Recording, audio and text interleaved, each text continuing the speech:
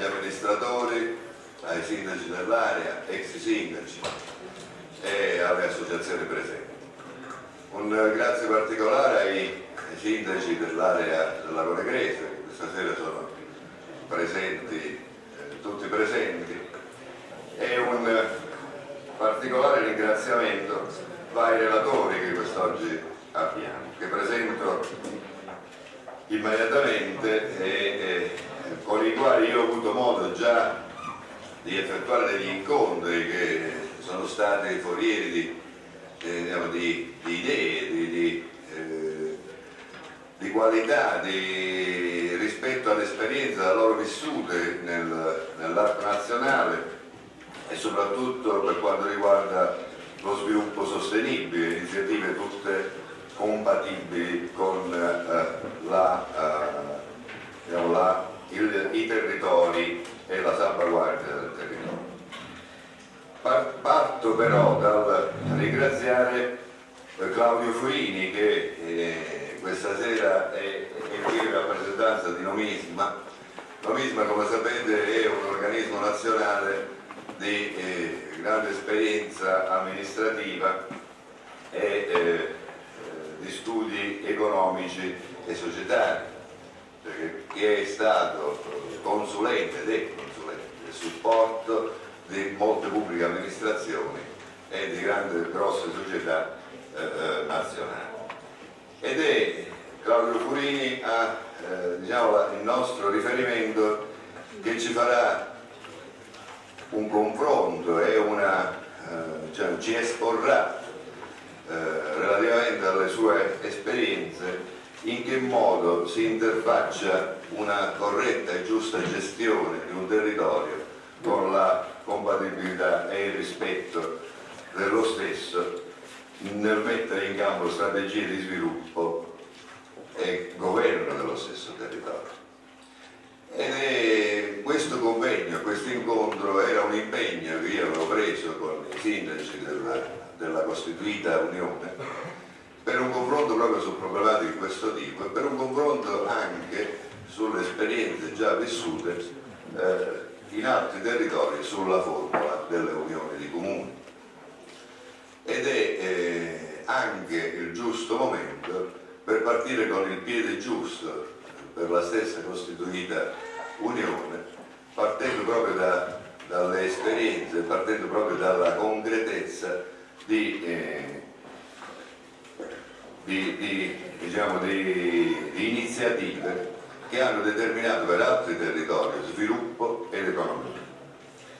Abbiamo poi Alessandro Starmini, che è un esperto eh, di, eh, diciamo di, ferrovie, di, ferrovie eh, di mobilità diciamo, su, sui territori nazionali e soprattutto negli ultimi anni è stato uno dei, dei fautori della eh, mobilità eh, turistica in aree dismesse e in aree di particolare qualità eh, ambientale. Ed è un, il primo consigliere del Ministero delle Infrastrutture e Trasporti, quindi capirete eh, Alessandro quale, quale eh, peso e qualità abbia alle sue spalle.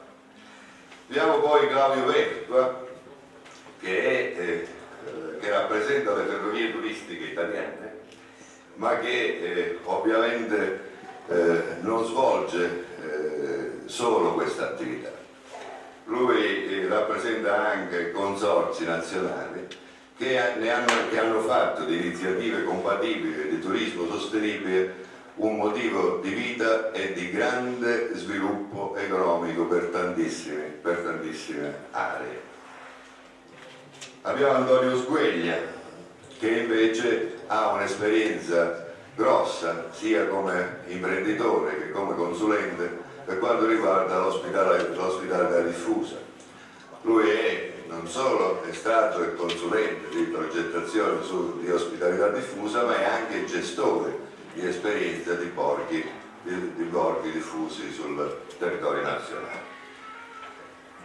Ovviamente a questo leghiamo anche l'esperienza vissuta dalla, dalla FEM, dalla Fondazione Enrico, Ferri, Enrico Mattei, che oggi ci parlerà di altre esperienze con la dottoressa De Filippo e il dottor Chiaruto alla mia, alla mia che ringrazio in modo particolare, eh, insieme a tutti i rappresentanti della, della FEM che ci stanno sostenendo in questa iniziativa, ma anche in un discorso che sta alle spalle di questa iniziativa, che deve essere un momento di partenza, deve essere un, un modo per acquisire un criterio di lavoro, un sistema di buone pratiche da cui partire per non sbagliare. E credo che eh, con un unico comune eh, denominatore, cioè ritenendo che il tema della sostenibilità sia l'unica metodologia applicabile per la definizione di una strategia e di uno sviluppo di un qualsiasi territorio. Ed è proprio da questo che vogliamo partire. E per questo ringrazio la rappresentanza dei parchi, da parte del Pollini, del direttore e, e diciamo, tutti coloro che in questo settore lavorano e hanno ritenuto eh, di, di eh, questo, questo momento un momento significativo ed importante. Quindi io per, stiamo aspettando uh, l'assessore Berlinguer e il dottor Manti che sono uh, ovviamente l'interfaccia regionale che è l'altro aspetto, cioè della programmazione. Oltre alle idee poi servono anche le gambe e servono anche gli altri attori che concorrono a realizzare, a realizzare percorsi virtuosi di un possibile sviluppo. Ovviamente eh, eh, riteniamo che questo sia un momento di partenza e riteniamo che eh, cominciare con eh, un confronto di qualità e di sostanza sia il modo migliore per partire ed augurare a questo territorio di poter fare un uh, ottimo lavoro e guardare sì veramente con concretezza al nostro sviluppo. Quindi cedo subito la parola per entrare nel merito a Claudio Furini che appunto interverrà sull'unione eh, dei, com dei comuni di gestione dei territori. Grazie, prego.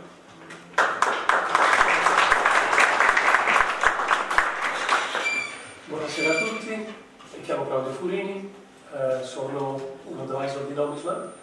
Ho il piacere di essere qua con voi questa sera, ringrazio il sindaco Tiglieri e tutti i sindaci che eh, ci hanno permesso eh, questa presenza. L'argomento che andiamo a trattare questa sera è, credo sia di fondamentale importanza e mm, vorrei trattarlo in maniera molto concisa e usando mh, mm, espressioni semplici e se possibile anche degli esempi concreti mh, mm, per far capire l'importanza del passo che avete fatto. Il primo passo che avete fatto è la costituzione dell'Unione dei Comuni. Eh, può sembrare una banalità, ma è eh, l'unica cosa, l'unica fondamenta corretta per poter permettere una gestione del territorio. L'Unione Europea stessa chiede un'aggregazione dei comuni per poter elargire i fondi. Non è più possibile, come veniva fatto in passato, settennato 2007-2013, avere dei buoni progetti, presentare un progetto più o meno sostenibile e portare a casa dei soldi.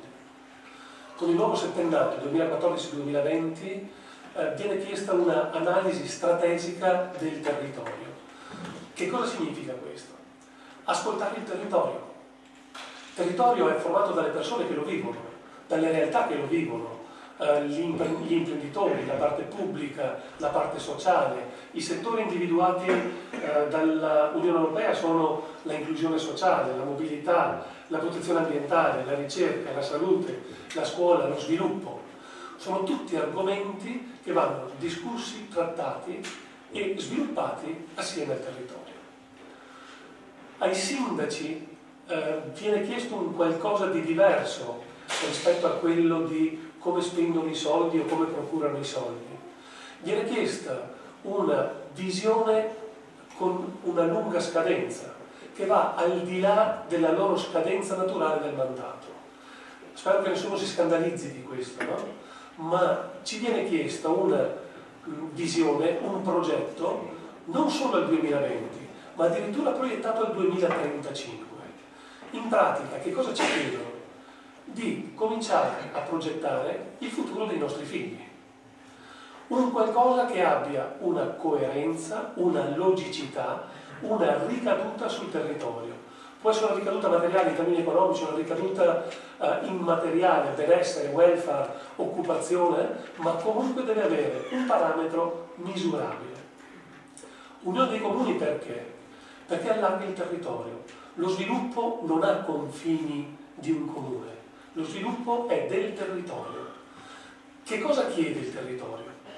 Questo è il primo passo da fare, una fotografia di come si è attualmente, quali sono le esigenze, quali sono le necessità, quali sono le negatività, quali sono uh, le cose positive, cioè che cosa può esprimere il territorio.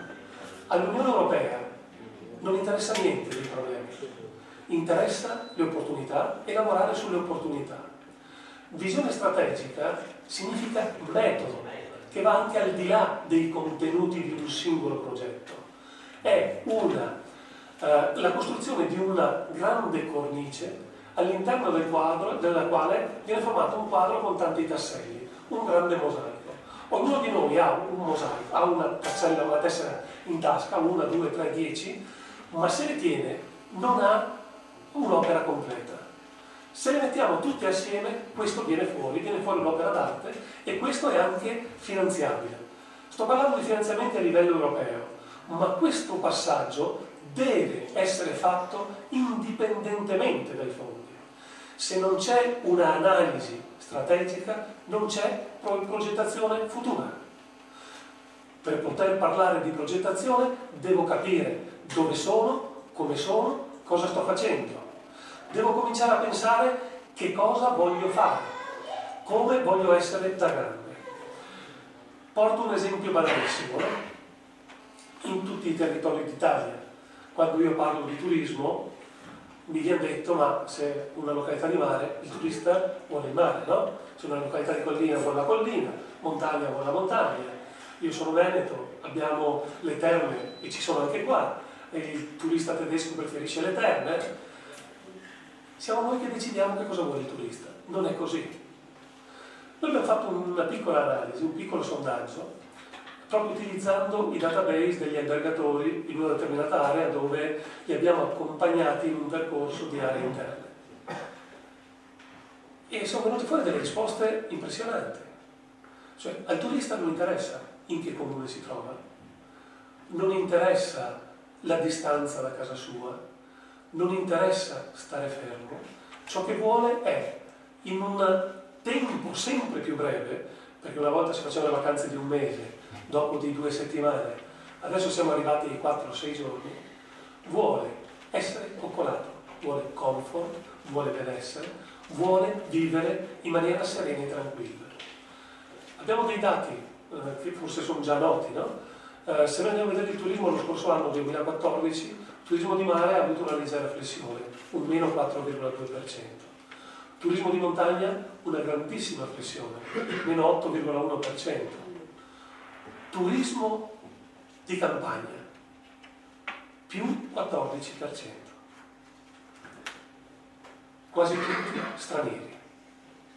Che cosa significa? Il turista che viene vuole staccare dalla vita quotidiana, dalla vita normale, avere qualcosa di diverso che è l'ambiente, e abbiamo il dovere sacrosanto di proteggere l'ambiente, è l'accoglienza. E qua credo che la formazione sull'accoglienza abbia un peso rilevante. Vuole buon cibo. E qua si attiva tutta la filiera corta agronomica Rispondendo solo a queste cose qua abbiamo toccato formazione, agricoltura, un altro passaggio importante è la mobilità, come arriva, le strade di accesso, con che mezzi. Altra cosa importante che è in grandissimo sviluppo, il turista che si muove con mobilità dolce, cioè lo spostamento con mezzi, eh, bicicletta piuttosto che altre cose, va e ritorna Il turista è una miniera, ma sto portando questo come esempio. Il turista non vuole il mare, la montagna, vuole la collina, vuole ciò che di meglio noi gli offriamo.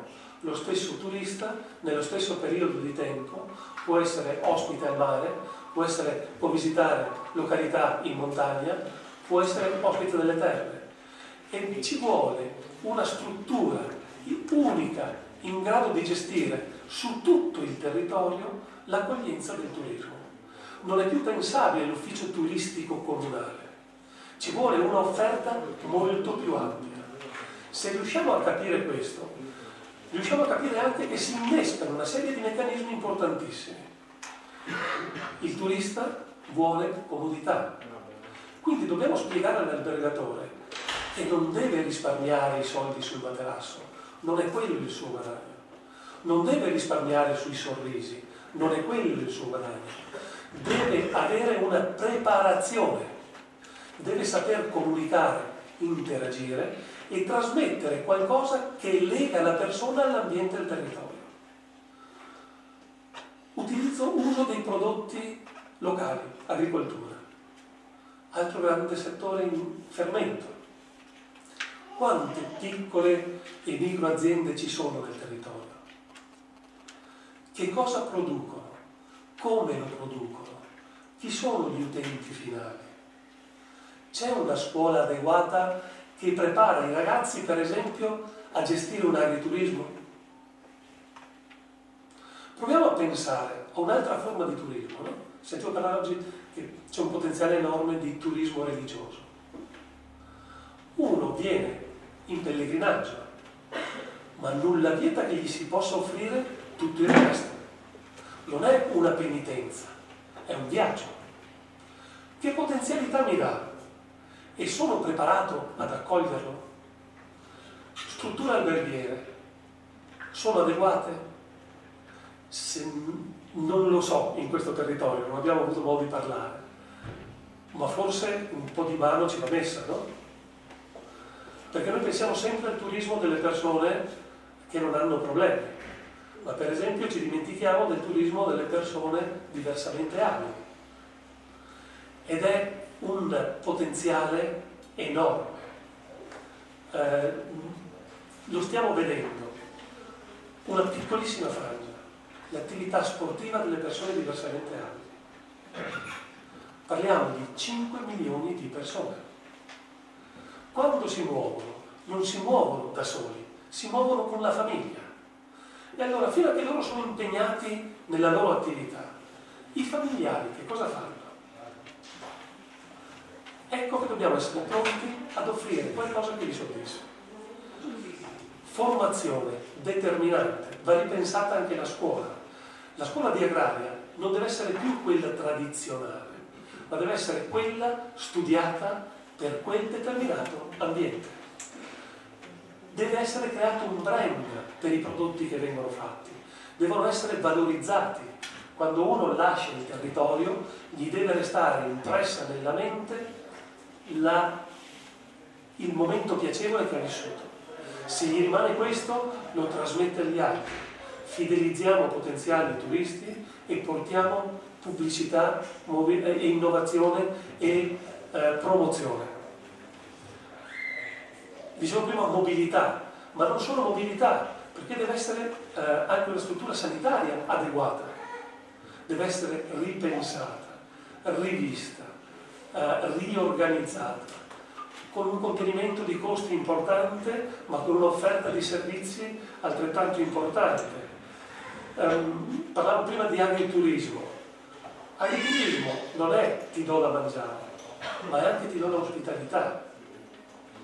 Io non so la capienza, per esempio, di Lauria di ricezione di eh, persone che arrivano dall'esterno, ma in funzione dei progetti e dei programmi che verranno messi in atto, questa è una delle cose da valutare. L'analisi strategica quindi come si fa? Si fa parlando con gli imprenditori locali si fa parlando sicuramente con le autorità, con la pubblica amministrazione, con i sindaci, individualmente e in gruppo, si fa parlando con le associazioni di categoria, si fa parlando con gli studenti. Questo mi dà il termometro della situazione attuale.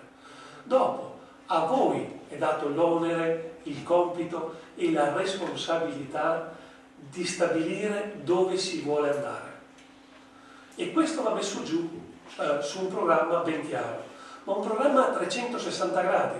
Non esiste una cosa scollegata, cioè non esiste eh, il turista scollegato dal mondo dell'edilizia, scollegato dal mondo della formazione, scollegato dal mondo dell'agricoltura, scollegato dal mondo dell'accoglienza, della mobilità, dei trasporti. È un progetto che va portato avanti in sintonia. Dicevo prima, è una cosa sovracomunale. Ecco l'importanza della collaborazione. Ci siamo trovati a lavorare in aree dove ehm, c'erano delle unioni di comuni fatte sulla carta, ma dove il campanilismo la faceva da padrone, dove la paura di perdere di autorità era un deterrente importante. Piano piano siamo riusciti a far capire l'importanza della collaborazione. Non esiste una strada che finisce al confine di un comune non esiste una scuola che finisce al confine di un comune.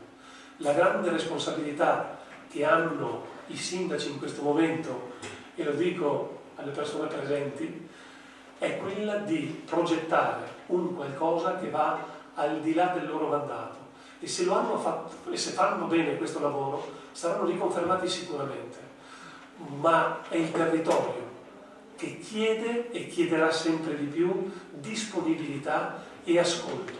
La capacità di ascoltare è importantissima.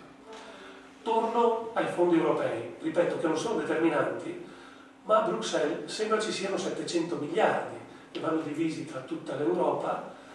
Noi italiani sicuramente non ci siamo distinti per qualità e per capacità nell'andare ad attingere i fondi messi a disposizione. Eh, nel 2014, nel settennato precedente, sembra che abbiamo portato a casa più o meno il 52% dei fondi destinati all'Italia. Non è mancata la progettualità, perché la progettualità presentata era pari al 108%, è mancata la capacità di preparare progetti collegati.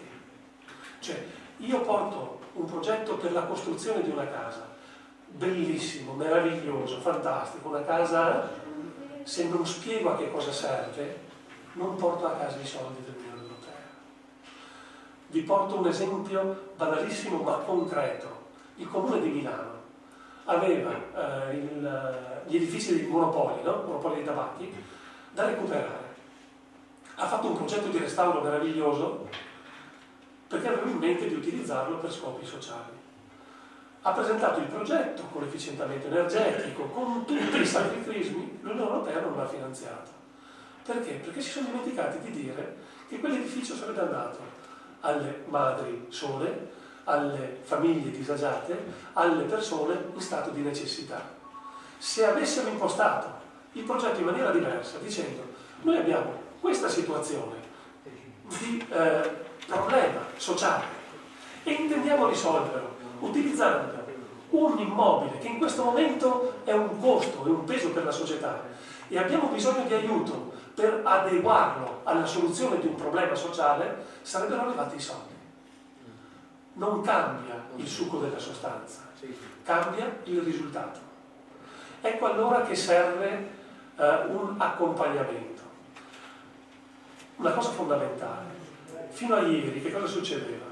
Veniva fuori un programma, un bando, e allora si andava nel cassetto a vedere se c'era un progetto pronto per poter prendere quei soldi. Non è più così è il territorio che esprime le necessità. Prima ci si affidava ai tecnici, no? la consulenza veniva data ai tecnici. I tecnici che cosa fanno? Presentano un progetto in base alle loro esperienze maggiori, non in base alle necessità del territorio. Il grande cambiamento qual è? L'accompagnamento in questa fase. L'accompagnamento nella fase di realizzazione di progetti, di idee che nascono dal territorio, con tecnici che si adeguano e non gestiscono le necessità del territorio. Accompagnamento è una cosa, una parola difficile, no? Ma è la realtà. Eh, probabilmente, non lo so, eh, il vostro territorio eh, già, esprime già eh, delle realtà in grado di farlo. Noi per la nostra esperienza abbiamo visto che c'è una grande fama, fame di eh, imparare, una grande fame di fare, un grande desiderio di realizzare, ma anche una grande volontà di chiedere aiuto. In questo, se volete, noi possiamo aiutare. In tutto quello che è l'analisi del territorio e accompagnarvi a mettere giù le vostre idee, le vostre idee per la soddisfazione delle necessità del territorio. Altra cosa importante, l'Europa non è più un bancomat. Non è che uno va e dice ho un progettino, dammelo. Chiede risultati e dobbiamo rispondere dei risultati e quindi i progetti devono avere risultati misurabili. Non è più possibile agire in maniera diversa. Quindi il passo che avete fatto, l'unione dei comuni, determinante, fondamentale, ma è solo il primo passo. Il secondo è la consapevolezza della vostra responsabilità. Quando dico vostra, non dico solo dei sindaci, dico anche delle persone presenti, perché anche loro devono esprimere le loro idee. Cioè, ehm, non è più il tempo in cui si critica chi fa, è il momento in cui bisogna proporre idee e soluzioni. È evidente che proporre non vuol dire accettare. Se non entra in uno schema generale, se non entra in un progetto generale, una idea non può essere accettata ma è importantissimo il contributo per costruire quel mosaico che abbiamo detto prima. Ecco, eh, non so se sono riuscito a passare il messaggio dell'importanza del momento, ma è una svolta epocale quella che si sta realizzando adesso. 2007, 2013, 2014, scusate, 2020 è eh, l'inizio di una nuova epoca, ma è anche il periodo in cui si gettano le basi per il futuro con un occhio al 2035. Io ho finito, vi ringrazio per la pazienza, spero di essere stato chiaro, ma è fondamentale la collaborazione.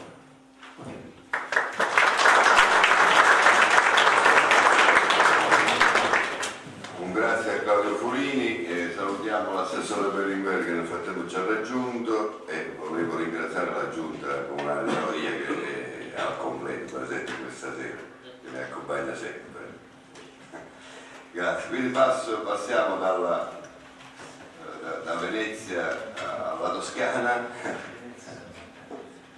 con, dando la parola ad Alessandro Starmini.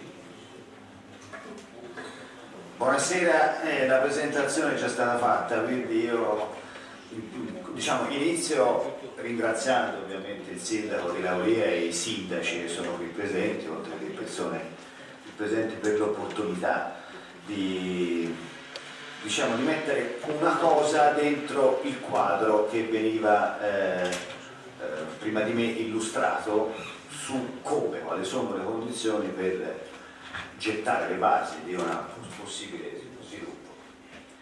Allora sì, mm, vale la pena, io comincerò con una, con una domanda brutale, vale la pena pensare al recupero e al riuso a fini turistici di una ex ferrovia. In particolare la ex ferrovia Lago Negro Spezzano, ma come vedete ho aggiunto anche diciamo, il tema della ferrovia Siciliano Lago Negro. Non che la seconda sia la condizione della prima, e so bene anche della complessità di questo secondo punto Tuttavia noi dobbiamo tenere presente anche questo secondo aspetto, per i motivi che dopo eh, vi illustrerò. Come vedete eh, nella, è illustrato il tracciato e il percorso e già si vede diciamo, la dimensione del progetto, sono oltre 100 km, un attraversamento dal Tirreno allo Ionio di fatto, come dirò un attraversamento di parchi di grande rilevanza, però questo non basta, diciamo. bisogna capire se queste condizioni iniziali sono condizioni sufficienti per iniziare un lavoro di questa natura e se ne vale la pena. Avendo fatto anche l'amministratore locale, io so bene che gli amministratori eh, diciamo una, come dire, non possono andare in cerca di chimere, ma devono muoversi per realizzare, con i metodi del che veniva prima descritto, progetti e percorsi di crescita delle comunità. Allora, queste ferrovie naturalmente sono una stagione interrotta. Non dirò nulla sui motivi storico-politici e economici che hanno prodotto questa interruzione. Li conoscete meglio di me, questo è accaduto non soltanto nel Mezzogiorno, è accaduto in molte parti d'Italia, per ragioni storico-economiche eh, diciamo, queste infrastrutture che hanno la loro origine ai fini dell'Ottocento e poi sono arrivate nel loro funzionamento fino sostanzialmente negli anni Ottanta, per varie ragioni sono state interrotte. Naturalmente esiste e si conserva una diffusa memoria, ne sono rappresentativi anche gli studi, le ricerche, le passioni che ruotano attorno a queste infrastrutture. Io ho visto anche in questo caso l'evoluzione della ricerca e il volume dedicato a questa ferrovia, che è naturalmente di grande interesse, e rappresenta appunto la memoria e anche la passione che eh, ruota attorno alla storia di queste infrastrutture, che è comunque una storia legata a tragitti di ricerca e di sviluppo. Possiamo procedere? Ecco, ma non si tratta soltanto di, fare, di immaginare un'operazione culturale, che avrebbe naturalmente il suo valore, perché qui c'è l'assessore Berlinguer e diciamo la, la ricostituzione della memoria della identità è una condizione per lo sviluppo, eh? almeno in Europa, è una condizione per lo sviluppo. In aree in cui non c'è memoria, non c'è identità, non c'è storia e quindi le comunità sono più deboli, è anche più difficile fare lo sviluppo.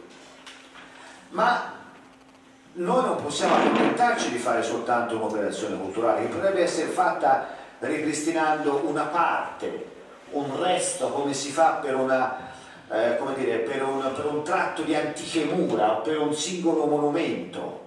Questo ha un valore, ma noi dobbiamo pensare di poter andare oltre e di vedere se attraverso il riuso e il recupero a fini turistici diciamo, agganciamo tendenze reali, mercati reali di tipo culturale e di tipo economico. Adesso vediamo questo tema come si colloca, il tema del riuso e del recupero a fini turistici e, anche, e in particolare a fini cicloturistici, poi dirò anche su temi storici, diciamo cosa succede nel contesto europeo. Quella che vedete è eh, la home dell'Organizzazione Europea del, del Ciclismo, una grande associazione che interloquisce con le istituzioni europee e in questa interlocuzione naturalmente ha lavorato nel corso degli anni una sua strategia europea di valorizzazione e di, eh, della ciclabilità, dello sviluppo turistico e di anche nuove tendenze culturali nella scoperta, nell'esperienza del viaggio e del turismo. Quella che vedete è Eurovelo, è la previsione europea delle ciclovie. Subito si scorge che questa previsione europea, naturalmente in parte realizzata, in parte realizzata, attraversa come ovvio il nostro paese, eh, attraversa tutta, tutta l'Unione, ci sono naturalmente negli ultimi tempi anche estensioni nell'est, eh, previsione, previsione in attuazione dei paesi che mano a mano sono entrati dall'est, sono entrati nella nostra Unione e quindi come vedete noi dobbiamo tenere presente questo quadro. Come veniva detto, non dobbiamo ragionare localmente, non solo dal punto di vista diciamo, di, de, del comune che giustamente si allarga in unione dei comuni, ma anche dal punto di vista nazionale, dobbiamo prevedere e capire in quale contesto europeo collochiamo le nostre idee. Quello che vedete è il percorso, è l'itinerario 7, la pista del sole, che è dentro la rete europea. È un itinerario che va da Capo Nord a Malta, attraversa tutta l'Europa da nord a sud e come si vede laggiù in fondo, quel tracciato che comincia dalla campagna e finisce dalla Calabria già ci dice qualcosa. Già si vede che noi siamo dentro un percorso, un tracciato, un itinerario, cioè non siamo isolati, ci collochiamo dentro una programmazione, una previsione europea e dentro un grande itinerario che attraversa capitali europee e non soltanto capitali e che collega e diciamo anche il nostro paese con un altro paese. Questo è molto importante anche dal punto di vista dei programmi Interreg dell'Unione Europea che ci danno molte opportunità in più, come hanno già fatto altre regioni italiane, per esempio in Friuli con la parte con la Slovenia e con l'Austria. Questa che vedete è la rete nazionale. Sulla base di quella rete europea è stata elaborata e definita una rete nazionale e come vedete anche questa ci dice qualche cosa, perché quel percorso è confermato. C'è un grande itinerario che attraversa il nostro paese, che arriva e, e passa eh, la Basilicata, entra nella Calabria, si unisce con l'Adriatico e unisce tre mari. Unisce il Tirreno con lo Ionio e con l'Adriatico. Rete nazionale, possiamo procedere. Questa è una descrizione delle grandi, cosiddette grandi vie, itinerari che si articolano in questi grandi percorsi e che conferma anch'esso, anche, anche questa rete, diciamo, la previsione che, eh, di cui vi ho parlato. Possiamo procedere. Ecco. Vi dico subito che mh, queste sono le ciclovie di qualità, naturalmente una ciclovia sono di qualità le ciclovie che hanno determinate caratteristiche che sono dedicate, hanno un'altimetria adatta, come dicono gli esperti, a tutte le gambe, e, diciamo, hanno protezioni, hanno servizi e possiamo procedere. Se guardiamo queste grandi vie e ciclovie di qualità, noi ci accorgiamo che 15 sono al centro-nord e solo 4 nel mezzogiorno, su 20 itinerari 16 di questi itinerari ancora più caratteristici si trovano sempre nel centro-nord e 4 nel mezzogiorno e di ciclovie di qualità ne abbiamo 50 nel centro-nord e 5 nel mezzogiorno. La dico positivo, c'è un'opportunità per il mezzogiorno. C'è un'opportunità il mezzogiorno. E dobbiamo lavorare, secondo me, per coglierla questa opportunità e per riempire una rarefazione di infrastrutturazione per un segmento turistico che in questa parte del paese si è creata. In particolare c'è un valore aggiunto che riguarda le, i percorsi di ciclovia su ex ferrovie, su cui molti siti sono dedicati e si capisce perché perché il valore aggiunto? Tutte le ricerche e tutte le pubblicazioni fanno un focus su questo, cioè le ex ferrovie utilizzate a questo scopo, a questo scopo diciamo, colgono varie opportunità, sono una, una sorta di intermodalità turisti, fruizione turistica, perché colgono il mondo diciamo, del, del, turismo legato alla storia delle ferrovie, che guardate è un mondo, poi Claudio ne parlerà, è un mondo e quindi è un mercato.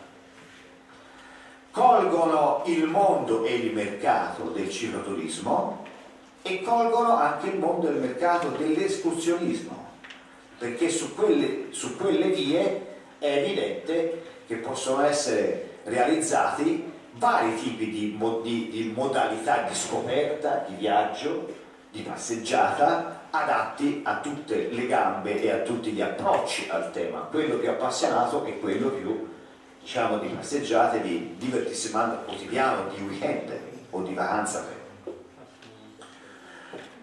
Questo è ovvio perché c'è un punto di vista molto particolare seguendo un'ex ferrovia che costituisce spesso una sorpresa.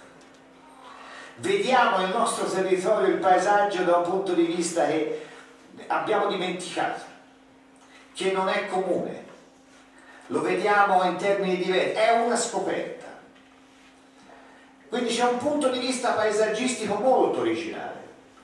Poi c'è diciamo, l'attrazione della storia della ingegneria ferroviaria.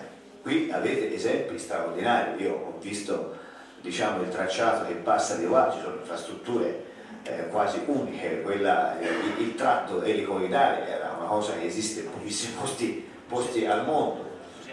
Si attraversano spesso paesaggi che hanno già una loro tutela, una loro valorizzazione, parchi, riserve naturali, non parlo del Pollino perché diciamo, è una cosa talmente importante, talmente rilevante che basta pronunciarne il, il nome e poi come dicevo rappresentano una intermodalità di scoperta e di viaggio. Dunque questo primo punto si potrebbe concludere così, che questo possibile progetto si colloca nelle previsioni europee dei grandi itinerari, si colloca nella rete nazionale, può integrare percorsi già esistenti e già identificati che si chiamano Ciclovia dei Borboni e Ciclovia del Sole. Ha un valore aggiunto poiché si occupa del recupero di una ex ferrovia o di più ex ferrovie. Unisce tre parchi, ha un respiro europeo e nazionale e può avere in questa Unione dei Comuni, in questo territorio, un nucleo di partenza propulsivo e realizzativo. Poiché la parte di percorso che qui si è realizzato ha già una sua attrattività, non c'è dubbio che abbia già una sua attrattività per come è fatto, per, le, per, le, per i paesaggi che attraversa, per le infrastrutture di, cui è, è composto e dunque diciamo, queste caratteristiche inducono a vedere la questione, il tema come a vederla diciamo, ben collocata nel quadro che vi descrivevo. Vi ho parlato del tratto siciliano-lago negro, diciamo perché eh, conoscendone la complessità di questo tema e ripeto, non come condizione per far avanzare il progetto, ma bisogna tenerlo presente, perché naturalmente esso rappresenta un collegamento con un'altra regione, potenzialmente con una grande città dove arriva l'alta velocità e diciamo, il tema dal, diciamo, dal punto di vista del progetto di cui stiamo parlando si pone in questi termini. Qualsiasi sia la decisione su quella linea, va bene. Io non mi metto qui a descriverne diciamo, le, le, le, le, probabilità. Io dico qualsiasi essa sia. Il ripristino tutta la, di tutta la linea? Benissimo. Il ripristino parziale? Benissimo il ripristino in ciclovia, benissimo. In ogni caso una cosa del genere ben si unisce all'autorizzazione intermodale di questa via attraverso il rapporto bici-treno o bici soltanto che può, che può essere realizzato qualsiasi sia diciamo, la decisione che può essere presa. Naturalmente se si prende una decisione. Se si prende una decisione, questo è un tema che appartiene a un dialogo istituzionale immagino a livello delle regioni interessate e a livello di RFI e che comunque è un tema, visto ci sono cittadini che se ne occupano, ci sono escursionisti che, che la frequentano, c'è un movimento il che è importante perché non soltanto la memoria ma anche l'attività che, che si può fare su questa linea è una cosa viva e dunque lo dobbiamo tenerla presente. Vi voglio dire, voglio dire ultime due cose su due temi. Il primo è il cicloturismo. Dunque, di che cosa parliamo? Parliamo di una cosa molto ristretta che interessa gruppi di appassionati. O parliamo di un movimento reale che è dentro il grande tema, il grande movimento culturale, anche turistico, della mobilità sostenibile, del turismo sportivo, del buon vivere, del viaggio e della scoperta, che muove economie eh, e, e molte altre cose. Andiamo avanti. Allora, la ricerca di mercato condotte in in sede europea e da organismi molto qualificati, risulta che dallo sviluppo della ciclabilità possono sorgere in Europa 650.000 posti di lavoro, alcune decine di migliaia in Italia e si dà in crescita in tutta Europa la ciclabilità e il cicloturismo. Lasciamo stare le stime ora specifiche che, eh, a, cui si vorrebbe fare la tara o cose di questa natura. Noi sappiamo però con certezza che parliamo di un movimento reale in crescita in tutta Europa, in durevole crescita in tutta Europa, date le tendenze culturali, le tendenze alla vacanza, le tendenze alla passeggiata, le tendenze alla salute, le tendenze al viaggio, eccetera, eccetera.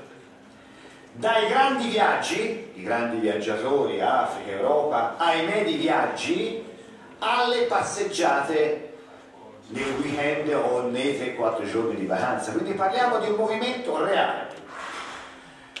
È un movimento che produce molta innovazione, molta innovazione. Nuovi tipi di tour operator, io, io vi ho messo il giro libero.it, è un, è, è un nuovo tour operator che organizza vacanze in bicicletta. Giovani, va alla scoperta degli itinerari, li studia, organizza mezzi e vende un pacchetto. Guardate la rete dei bike hotel e vedete come siamo combinati. Intanto una estensione e una crescita. Torna il tema del mezzogiorno, come si vede chiaro. Noi abbiamo il centro-nord, soprattutto il nord-est, il centro, è una rarefazione del mezzogiorno. Il che vuol dire che con le nostre peculiarità, con le vostre peculiarità di questa parte del paese, di questa regione, c'è uno spazio da riempire. Se attiviamo un percorso. Naturalmente, diciamo, eh, si parla di una rete di servizi di tipo nuovo, perché questo movimento richiede servizi nuovi. È itineraria, vedete, è anch'esso una, nuova società di servizio, un SRL, tra l'altro ce n'è una anche a Matera, a Matera che organizza i viaggi in bici alla scoperta, alla scoperta del territorio intorno alla città e della città, fatta di giovani, e comunque è un movimento che crea nuove community, cioè le forme moderne con le quali ci si mette d'accordo per andare a fare delle cose.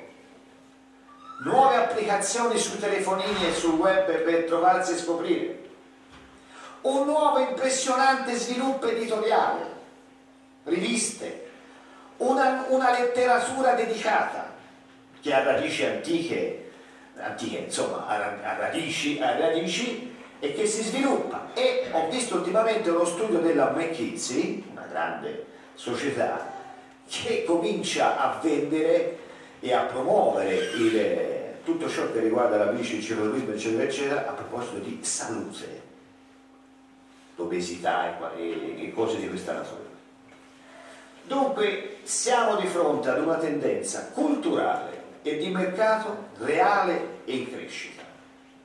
Quindi il nostro progetto potrebbe avere la chance di legarsi a queste tendenze di mercato tendenze culturali e diciamo farne una propria interpretazione per, eh, fondata sulla base delle proprie specificità, della propria storia, del proprio paesaggio, del proprio ambiente, della propria economia e via di seguito. Ultimissima parte sui temi storici, Claudio Vento ne parlerà più. Parlo di questo per una ragione che fra due minuti vi dirò. Io ho avuto modo di organizzare fino al 95 questa esperienza del treno natura nella Valdorcia, in provincia di Siena. Ed è un'esperienza che mi ha fatto capire molto, nel senso che vi dirò poi i risultati. È un'esperienza che ha, tra l'altro, condotta insieme a, una, a Claudio Berto e alla sua, sua impresa, che eh, diciamo, è riuscito a ottenere alcuni risultati di cui vi vedrò. Possiamo andare avanti? Questi sono alcuni numeri europei sui treni storici. La Francia, questa è soltanto la Francia. 75 operatori che organizzano queste cose in Francia, su linee sospese. 1200 km di linee operative, ridiventate per operative, a fini turistici, sto parlando di, di attività esclusive a fini turistici, 3 milioni e mezzo di paganti all'anno, 1000 posti di lavoro a tempo pieno. Ok? Questa è la Francia. Ho messo qui un'immagine della Provenza Alpe Côte d'Azur per una delle esperienze. Naturalmente la Francia, essendo uno di quei paesi che storicamente ha inventato il treno, si è sviluppato il treno in Europa molto, ha anche più operatori, ma in Italia siamo a quel livello lì, non dello sviluppo, ma a livello della, dello sviluppo della rete e, che, e quindi anche delle, diciamo, delle, dei tratti parziali di rete è solo che una potenzialità a questo scopo. Quali sono i benefici che ho misurato? Primo, si realizza un interessantissimo nuovo collegamento città-campagna che è un tema indagato storicamente no? dal punto di vista culturale, dello sviluppo, eccetera, perché l'abitante metropolitano va in cerca della ruralità e dei suoi valori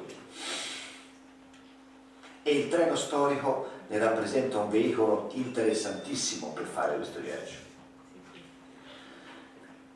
Viceversa, l'abitante eh, dell'area rurale ha il bisogno di incontrarsi con il mercato, le opportunità di, di quello che offre diciamo, l'area metropolitana. Si realizza una, una nuova forma di incontro. È un'occasione, uno strumento di promozione immagine per i territori, per i territori formidabile, perché siccome il vintage va, il treno storico va, molte passioni ruotano attorno, io ho visto quanta fatica duriamo per fare entrare nella comunicazione una nostra iniziativa turistica, qualunque essa sia, una fatica feroce e sappiamo bene quanto costa la comunicazione. Ecco, il treno storico è uno strumento formidabile eh, che sfonda perché ha appunto le sue caratteristiche di, sostenibilità, di recupero della storia, di visione del paesaggio e, de, de, de, dei territori in un certo modo, insomma, ma attenzione non parlo soltanto dello storico, qui si potrebbe, si potrebbe aprire anche un tema di innovazione tecnologica per usare le, per usare le ferrovie dismesse o sospese, ma su cui non, non entrerò, ma molto interessante. E quindi territori rurali rientrano, come, dico, come mi piace dire a me, lo dico più semplicemente rispetto diciamo, a un economista, territori rurali rientrano nel giro, hanno l'opportunità di rientrare nel giro, a condizione, come giustamente veniva detto prima, che quel territorio ci lavori, si unisca, tiri fuori dalla sua tradizione le cose che può mettere in valore e abbia un disegno strategico. Perché il problema non è partire da un posto e arrivare a un altro, quando arrivi a un altro devi scoprire e godere di delle cose e queste cose vanno coltivate, costruite, realizzate, siano esse l'enogastronomia, siano esse diciamo, un'emergenza storico-artistica, siano esse una sagra, una fiera, una, una passeggiata, un fiume, una spiaggia, insomma i valori da far crescere che un territorio può mettere in campo. Eh, dunque sì, in Italia oramai ci sono le condizioni per questa crescita perché dopo una fatica micidiale siamo riusciti a costruire le, le, le norme tecniche per l'esercizio di treni storici che l'Italia non aveva, a differenza della Francia, dell'Austria, eccetera, eccetera, eccetera. La fondazione FS, la fondazione di RFI e Trenitalia, è uno strumento che riguarda le linee di proprietà di RFI, qui siamo in un'altra condizione anche più facile, è un motore di queste iniziative il Ministero dei Beni Culturali e del Turismo entrerà nella fondazione, sta per entrare perché ha capito, eh, soprattutto Francesini, ha capito il motore di, di, di sviluppo e di crescita che questo settore può sviluppare.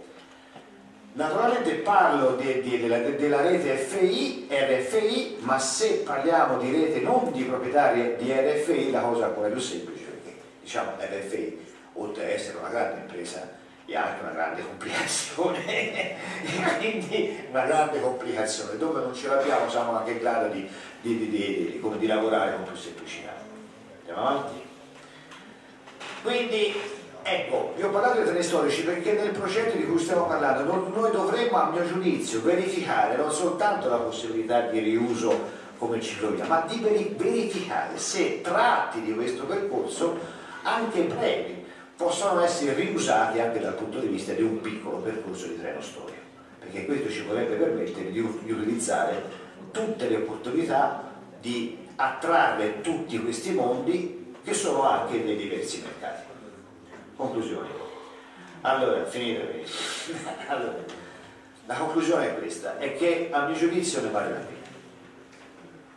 Per rispondere alla domanda iniziale.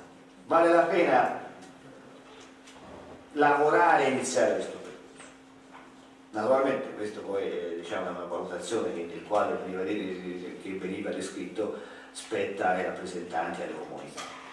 Ma aggiungo che questo, che per lavorare a un progetto del genere serve una organizzazione, forse un'organizzazione dedicata a questo progetto, chiarezza di tappe,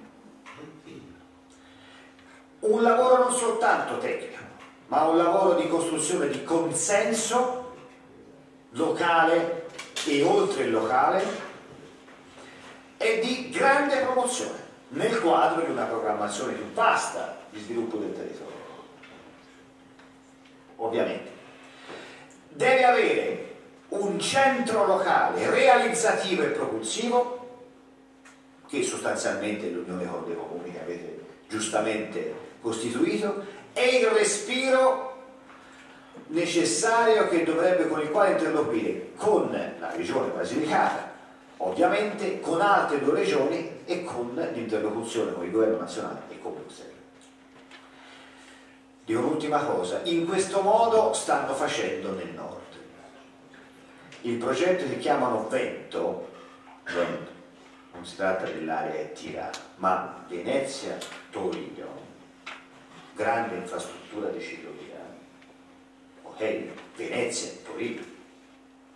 Quindi non abbiamo timore a proporre una cosa di respiro, nessun timore da quello che so io, che conosco io, Vento e un progetto del genere potrebbero essere i due principali progetti che il Paese propone a Bruxelles in questo anno. Lo dico con convinzione, con convinzione. E questo con una ragione in più perché si tratta eh, di, di, di mettere dentro anche il valore aggiunto di recupero di ex ferrovie. Basta, finito qui, vi ringrazio per l'attenzione.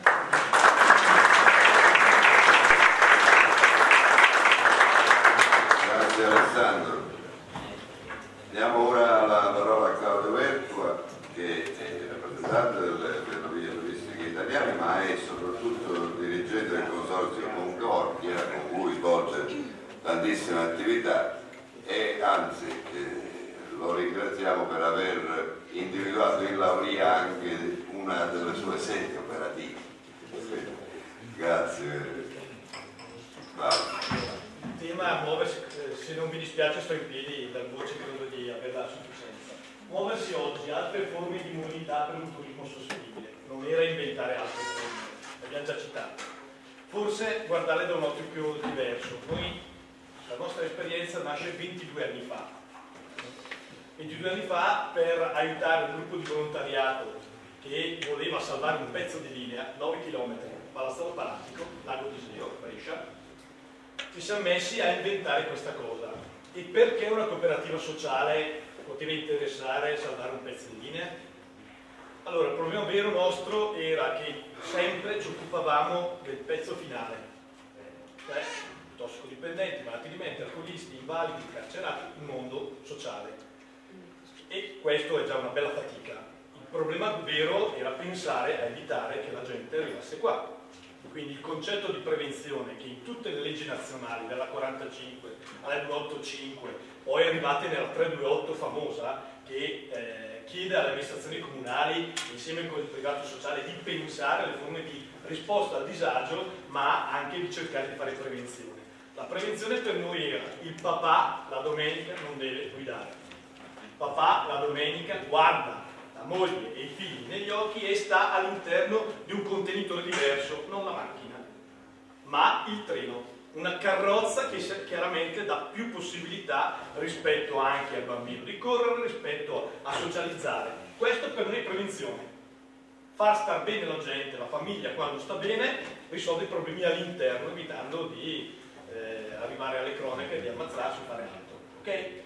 Questo per noi era importante. Sì, era importante. Era importante dare una mano della gente che voleva partecipare. Noi siamo stati quelli che insieme hanno raccolto la firma per la 118, articolo 5 della Costituzione. Principio di sussidiarietà.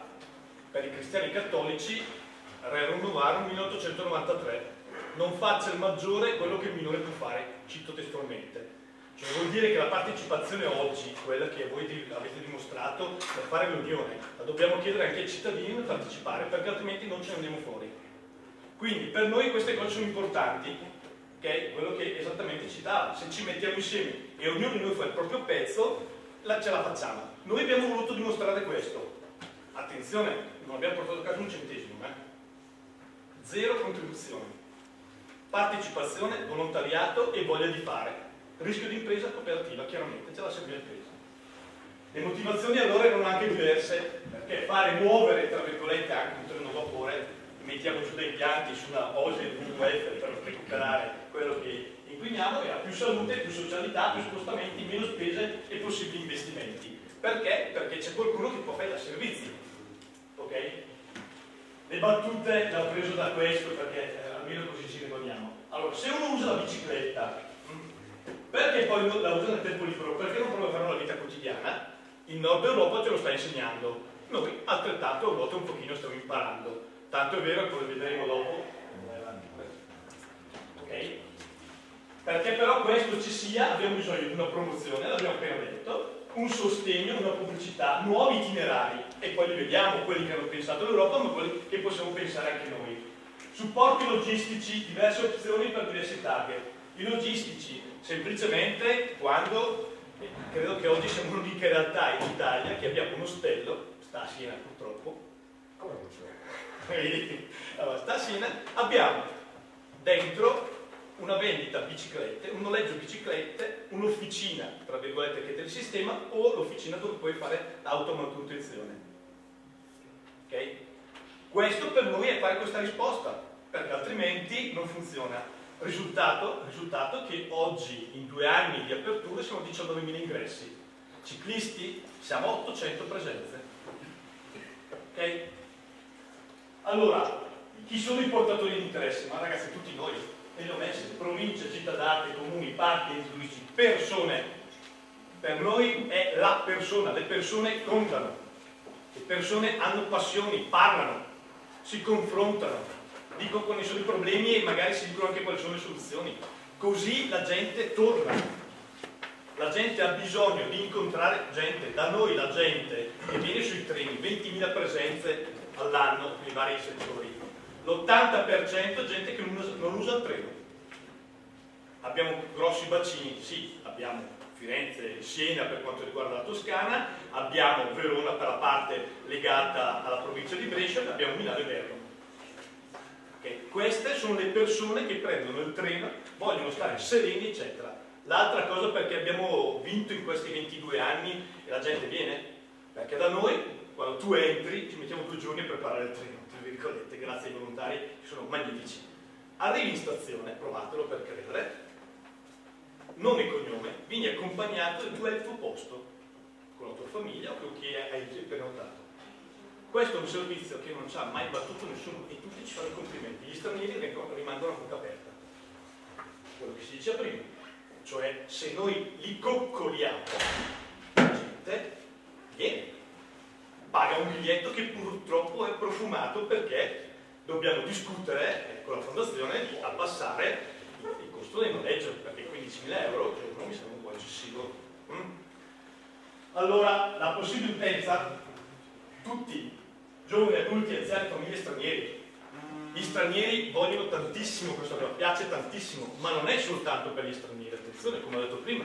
La gente alla domenica vuole andare fuori e avere una giornata serena, dove gli hai programmato la tua giornata, gli hai programmato addirittura, eh, se voi andate a vedere il nostro sito Ferrovie Turistiche Italiane, arrivate e avete dove andiamo e andiamo in posti dove non ci va nessuno, siano uguali, attenzione. Perché quando vai a portarli in un paesino sperduto, che quando arriviamo noi eh, ce l'ha la protezione civile, che, eh, il gruppo di volontari, eccetera, con, con i 270-300 persone che paghiamo, si organizzano e si tirano sui soldi per tutte le loro attività dell'anno, volete che non ci vogliono bene con la gente? Certo, ma non vogliono bene anche noi, perché tutti gli anni fanno di quel mangiare che è eccezionale. È una contentezza portare la gente. Facciamo bella figura a tutti e i soldi ricavati servono per fare altre attività sociali. Questa è l'operatività vera, perché altrimenti, ragazzi, non ce la raccontiamo, se i soldi sono pochi, bisogna sfruttarli e giocare al meglio. E noi cosa abbiamo ottenuto? Dei rapporti bellissimi, un'amministrazione comunale, i volontari e la gente che è contenta. Ok? Allora, il tutto com'è? Perché questa mania della bicicletta? Bene, è un'occasione, benissimo. La FIAB ha fatto un accordo nuovo con le ferrovie per poter mettere le biciclette, benissimo. Stiamo parlando di quanta gente? 500.000 presenze. Attenzione ragazzi, guardate che in Italia noi abbiamo, abbiamo avuto 43, 47, speriamo quest'anno di andare oltre i 50 milioni di presenze. Quindi se li paragoniamo al numero generale, sono pochi, sì è vero, ma sono un numero importante perché vanno in posti dove gli altri non andrebbero. Noi le città d'arte, lo sappiamo, sono le famose, eh, che Roma sia piena, lo sappiamo, che Firenze, Venezia, Torino, ok, ma da noi da lì dobbiamo prendere sul territorio, altrimenti noi non ce la facciamo, noi non siamo quella roba lì, noi non siamo roba siamo altro, ma è quest'altro che interessa. Chi ha detto che noi non siamo interessanti? Lo. A me piace tantissimo la pubblicità, Atlantia, eh, gli voglio tanto bene. Sei in un paese meraviglioso. Certo, e meno male che abbiamo scoperto, diciamocelo. E in ogni area di servizio ti danno i possibili itinerari. Bravissimi. Eh, perché la stessa cosa noi facciamo nelle ferrovie, nelle stazioni. Ok? Nel pullman, ad idem. Dove la gente passa, noi dobbiamo far vedere, conoscere quello che attorno c'è. Forse la gente si ferma. Se gli diamo servizio, ben venga. Noi abbiamo sperimentato le biciclette elettriche. E uno dice, ah sì, no, perché no? Così anche su Anglo Terme Camoni per mangiare altre due. Sì, anche se qualcuno ha fatica ma vuole andare in bicicletta, oh adesso l'hanno inventata, sfruttiamola. Tutto quello che è innovazione e che, e che è opportunità è da giocarsi. Ok? È moda? Ma può anche essere. Ma se la moda mi dà un'opportunità di conoscere il mio territorio, perché no? Se la moda dell'elettricità dell è bella, benissimo, usiamola. Ma se mi fa conoscere quell'agriturismo che se altrimenti non ci andrebbe mai nessuno. Perché no? Noi abbiamo una bellissima cosa, che abbiamo tantissime eh, situazioni. Uno in Italia potrebbe girare tutta l'Italia, tutta la vita, e mangerebbe tutti i giorni pasti completamente diversi e cose completamente diverse. Voi perché cucinate, magari lo stesso prodotto, ma è cucinato in un modo diverso, per cui eh, giù fanno eh, quella cosa, non mi ricordo, aiutami, come l'hanno chiamata, la sottoverrà, comunque quel piatto là, dall'altra parte lo fate in un altro modo. È così, benissimo, è bella l'Italia, è bella per questo. Allora, quindi, attenzione, il movimento lento è lo zero. Perché, mannaggia, mannaggia, arriviamo sempre qua? Ok, allora, e perché giù non fanno le cose buone? Che vogliamo? Siamo lunghi e lunghi, va bene, sfruttiamo tutta la lunghezza. Quindi queste sono tutte opportunità che vanno aggiunte perché c'è un mondo bellissimo che va fatto conoscere. Avanti. Questa chiaramente i siti, allora la FIAB è stata riconosciuta come associazione che ha la responsabilità in Italia di curare le ciclovie. Ok? Bene. Facciamo in modo che lavori bene, facciamo, creiamo delle associazioni che partecipano per cui facciamo vedere che ci sono altri territori. Quello che abbiamo detto prima, lo rimarco, quella roba lì non è semplicemente una serie di colori, sono delle opportunità perché comunque quelle, quelle vie sono state pensate. Bene, facciamole vivere quelle vie. Avanti. Questo l'ho citato perché così perché la FIAB è data in giuggiole, perché nel 2013, eh, scusi dietro, eh, è stata per la prima volta, abbiamo venduto in Italia più biciclette che macchine. Bene, mi fa piacere, ne godremo tutti. Però attenzione, 20.000 soci distribuiti in 142 associazioni, amici della bicicletta, 4.200 escursioni, sono 6.000, vabbè, 130.000 persone, quello è il numero, 130.000 persone. gli altri sono stranieri che sono arrivati. Avanti. Idem. Allora, il cammino di Santiago di Compostela ha cominciato nel 92, 2-3 mila persone. Siamo arrivati a oltre 100.000 presenze. Vuoi il film? Benissimo, vuoi il film? Facciamo il film anche da altre parti. Ma noi la via Francigena ce la ricordiamo? La via di San Francesco, tutto il movimento religioso che ci può essere, cioè tutte queste cose dove però, attenzione, io arrivo, c'è un ostello e sono 10 euro non sono 50 euro. C'è la possibilità di avere una lavatrice che mi lava le mie cose, me le stendo. C'è la possibilità di avere un fornello dove io mi faccio portare. Perché sì, la base è questa, ci sono dei volontari, è la mia chissà cosa. Poi tra parrocchia, tra uno e l'altro è stato, bisogna pensare a queste formule. Io non penso a formule che devono sconvolgere la vita o che devono chissà quali soldi. Sono partecipazione, ragazzi, guardate che la gente ha bisogno veramente di incontrare le persone. Questo fa la differenza. Quindi, altrettanto, queste sono le, le tre associazioni dislocate sul territorio dove abbiamo sperimentato, e l'ho detto, questo è. Abbiamo altre cose, sì, ci sono delle littorine che sono bellissime, abbiamo la prima ferrovia, ve lo ricordo, è Napoli, e lì c'è il Museo Nazionale, perché c'è Pietrassa, e, e possiamo sfruttarlo meglio? Non è che siamo poi stati stati, avanti. Questo è l'esempio perché cosa abbiamo fatto qui? Abbiamo combinato la festa del lago con un'escursione e abbiamo fatto conoscere quella cosa. Quella dopo, allora, quella del primo tour, cosa abbiamo combinato? Due cose. La storia dei borghi e Francigena passo dopo passo. Gli abbiamo fatto fare un pezzo di Francigena. E uno dice, ma io devo andare a fare il giro di treno. Eh, vabbè, cammina anche. Ti prego su dall'altra stazione. Ok?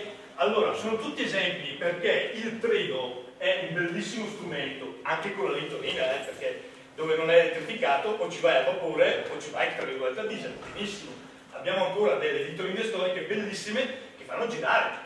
Allora, anche pezzi, sì, anche pezzi, ci carico la bicicletta, lo carico lì e vado dall'altra parte. Sulle linee chiuse, e dopo le vedremo. Ma questa è un'altra cosa importante, ragazzi. Allora, questi sono i corridoi che i nostri pensatori d'Europa hanno fatto. Bene, prezzo per buono il corridoio 8 che parte da qui e arriva qui, ma perché non arriva qua? Che chiuderebbe? Eh, questo bisogna pensarlo. Che mi pensino a queste benette autostrade del mare, benissimo, grazie autostrade del mare, magari facciamo fare qualche fermo. Allora, se qualcuno in Europa pensa, beh, possiamo anche suggerire anche qualcosa che va a completare quella cosa, ok? Per fare in modo che la gente arrivi, perché la gente arrivi, cioè 43 milioni di presenze, prendiamo l'ultimo dato più basso, eh, dove arrivano?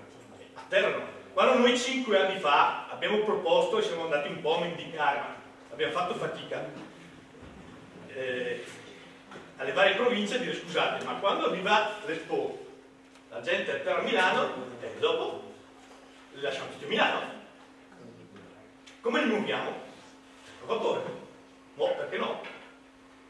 La fatica di far capire questa cosa, ragazzi, è un po' sconvolgente.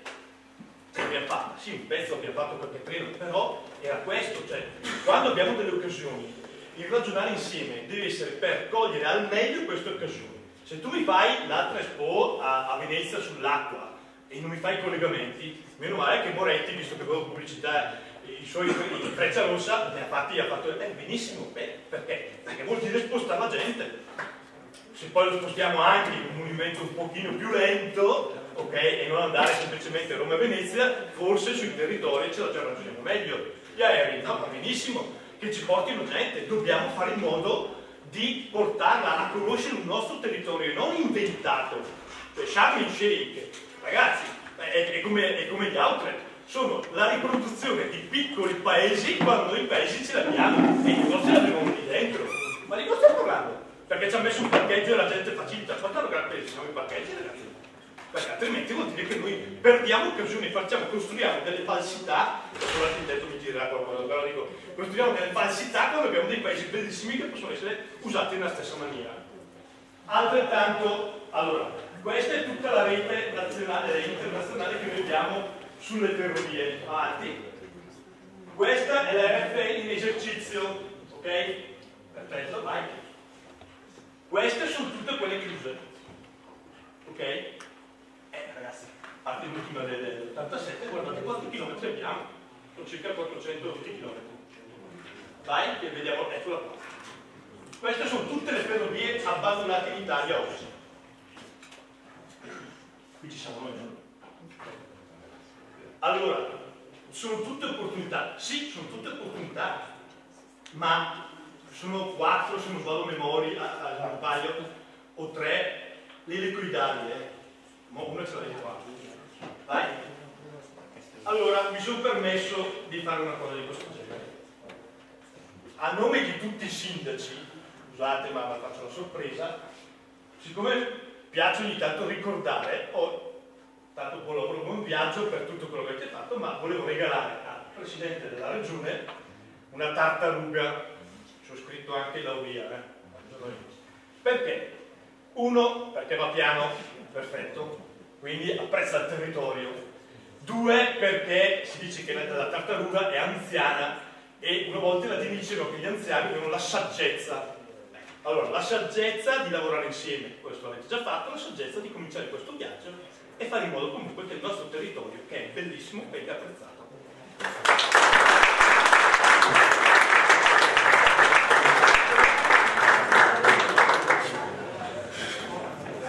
Grazie Claudio. Proseguiamo questa interessantissima passeggiata e quindi questo concorso abbiamo avviato con Antonio Sgueglia esperto di sviluppo immobiliare e gestore di alberghi di, alberghi di Ringrazio dell'invito, eh, non riesco a avere una presentazione, sono come Claudio, simpaticissima. Eh, approfitto però di tutto quello che hanno detto da Furini a lui eh, per entrare nel vivo di quella che poi invece eh, ho due titoli che comunque eh, sono la base principale, uno è la nuova frontiera dell'ospitalità e l'altro è il concetto della ricettività diffusa. Eh, perché entro nel merito di questa cosa? Perché alla fine quello che conta è la percezione che il turista, il viaggiatore in questo caso specifico, eh, si aspetta dal territorio. Quindi soggiorno in un albergo o in una località di vacanze viene normalmente percepito come la possibilità di accedere ad uno stile di vita ambito e diverso da quello abituale. Una vera e propria total leisure experience, in grado di soddisfare sia la motivazione di un'attrattiva di base, cultura, natura, avventura, evento, enogastronomia e salute, appunto come è già stato detto, sia di rispondere alla necessità di un appagamento complessivo nell'uso del proprio tempo libero, ricettività, ristorazione e prodotti tipici. Tale esigenza riflette l'attenzione verso esperienze autentiche che caratterizzano ormai una fetta sempre più consistente della domanda di vacanze, abbiamo visto in quale modo in quale percentuale è aumentata. I nuovi turisti sono più maturi, più sapienti, sapere, e spesso tradiscono le mete tradizionali perché cercano emozioni e esperienze più vere, più a contatto con la natura, la cultura e la gente dei luoghi visitati.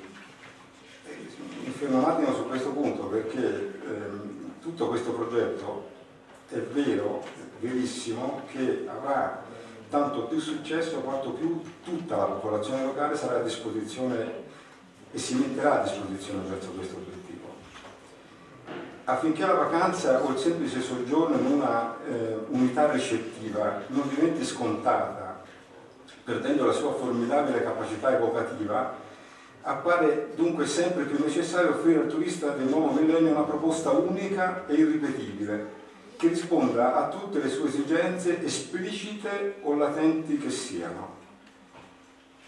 Riprende con vigore l'interesse per il turismo di scoperta del territorio e delle tipicità locali, l'attenzione per le nuove destinazioni, ma anche una diversa gamma di prodotti turistici e per una qualità dei consumi più attenta, non solo alle mode e ai prezzi, ma anche ai contenuti e significati.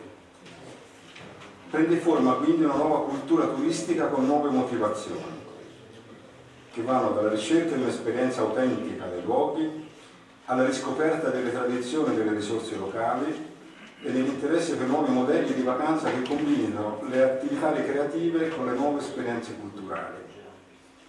Tale tendenza turistica, sintetizzata nel concetto di living culture, trova la sua naturale confluenza nell'utilizzo di nuove forme di ospitalità che superino i nuovi concetti alla base delle tradizionali proposte. Il concetto di ricettività diffusa. Ma quali sono i requisiti cruciali di un albergo diffuso? Entrando nello specifico, per esempio, la distanza massima tra gli immobili non deve essere tale da impedire alla gestione di offrire a tutti gli ospiti non solo servizi alberghieri, ma anche l'esperienza stessa della formula ospitale. A distanza di 200 metri tra la reception e gli altri immobili, immobili dell'albergo non dovrebbe essere superata. La gestione deve essere professionale ma non standardizzata, non simile per intenderci a quella che caratterizza gran parte degli alberghi che fanno parte delle catene alberghiere, né tantomeno simile a quella rigida dei grandi alberghi in perfetto stile Ritz, ma coerente con la proposta di autenticità del luogo. La gestione deve dotarsi di uno stile riconoscibile, di un'identità leggibile in tutte le componenti della struttura ricettiva, che non si deve configurare come una semplice sommatoria di immobili ristrutturati e messi in rete. La comunità nel suo insieme deve diventare parte integrante della gestione, apportando la propria esperienza e autenticità, mantenendo intatta la propria identità, ma offrendo contemporaneamente al turista i servizi di cui necessita. Ecco in sintesi alcuni punti di forza di questo modello di ospitalità. Capacità di soddisfare i desideri di un'utenza esigente ed esperta, persone che hanno il gusto di viaggiare, che hanno trascorso vacanze e soggiorni in diversi tipi di alberghi e località e che sono alla ricerca di formule innovative che allo stesso tempo siano in grado di rispecchiare il più possibile le caratteristiche del luogo. Il rispetto dell'ambiente culturale, quindi il recupero del patrimonio artistico e culturale, incremento del reddito e dell'occupazione, mantenimento o addirittura incremento della popolazione senza contaminare la cultura, l'ambiente e l'identità del luogo poi c'è l'autenticità che permette ai turisti di vivere l'esperienza di un soggiorno in case e palazzi progettati per essere vere abitazioni con aspetti strutturali, quali spazi, infissi, arredi e impianti diversi da quelli progettati per turisti. Articolazione della proposta offre una vasta gamma di scelte, tutte offerte dallo stesso operatore ricettivo, differenziate in termini di diverso livello di comfort delle varie unità abitative, diversa distanza dal centro, diverse caratteristiche architettoniche degli edifici, consentendo una politica di differenziazione anche di prezzi, con proposte diverse a differenti fasce di utenza, perché ovviamente non si può pensare di eh, proporsi solo una fascia né bassa né media né alta, si propone su tutti. Originalità Novità della proposta. Una soluzione ricettiva, in gran parte originale, comporta una maggiore visibilità e offre numerosi vantaggi in termini di strategia, di posizionamento nel mercato turistico. L'albergo diffuso può avere la funzione di animatore culturale ed economico utilizzando la reception anche come ufficio informazioni delle località che può così rivitalizzarsi mantenendo al suo interno le normali funzioni residenziale, commerciale e artigianale. I servizi alberghieri, gli alberghi diffusi garantiscono tutti i servizi alberghieri, dal ristorante alle sale comuni, alla piccola colazione, eventualmente servita anche in camera, e quindi alloggio, vitto e servizi accessori. Inoltre la dimensione complessiva dell'albergo diffuso permette di personalizzare i servizi anche attraverso la collaborazione delle attività commerciali già attive nella località e di aumentare il coinvolgimento degli ospiti, avviando così un naturale processo di fidelizzazione e di sviluppare il passaparola. Lo stile gestionale si caratterizza quindi nell'universo ricettivo per l'atmosfera originale, per le modalità di allocazione dei servizi e per il suo collegamento con il territorio. Diffusa ha uno stile unico perché rispecchia contemporaneamente la personalità di chi lo ha voluto e lo spirito del territorio la gestione ha l'obiettivo di offrire un'esperienza legata al territorio anche nei tempi e nei ritmi del servizio, oltre che nei servizi e nei prodotti offerti. Declinabilità, la formula dell'albergo diffuso ha poi mostrato una grande flessibilità e capacità di adeguarsi al territorio e di caratterizzarsi sulla base di un tema o di un prodotto tipico o di una formula gestionale particolare. Io con questa lettura eh, per ringraziarvi nuovamente, eh, spero che ci sia da parte di tutti voi sindaci, soprattutto della, della popolazione, a partecipare a questo progetto. Grazie.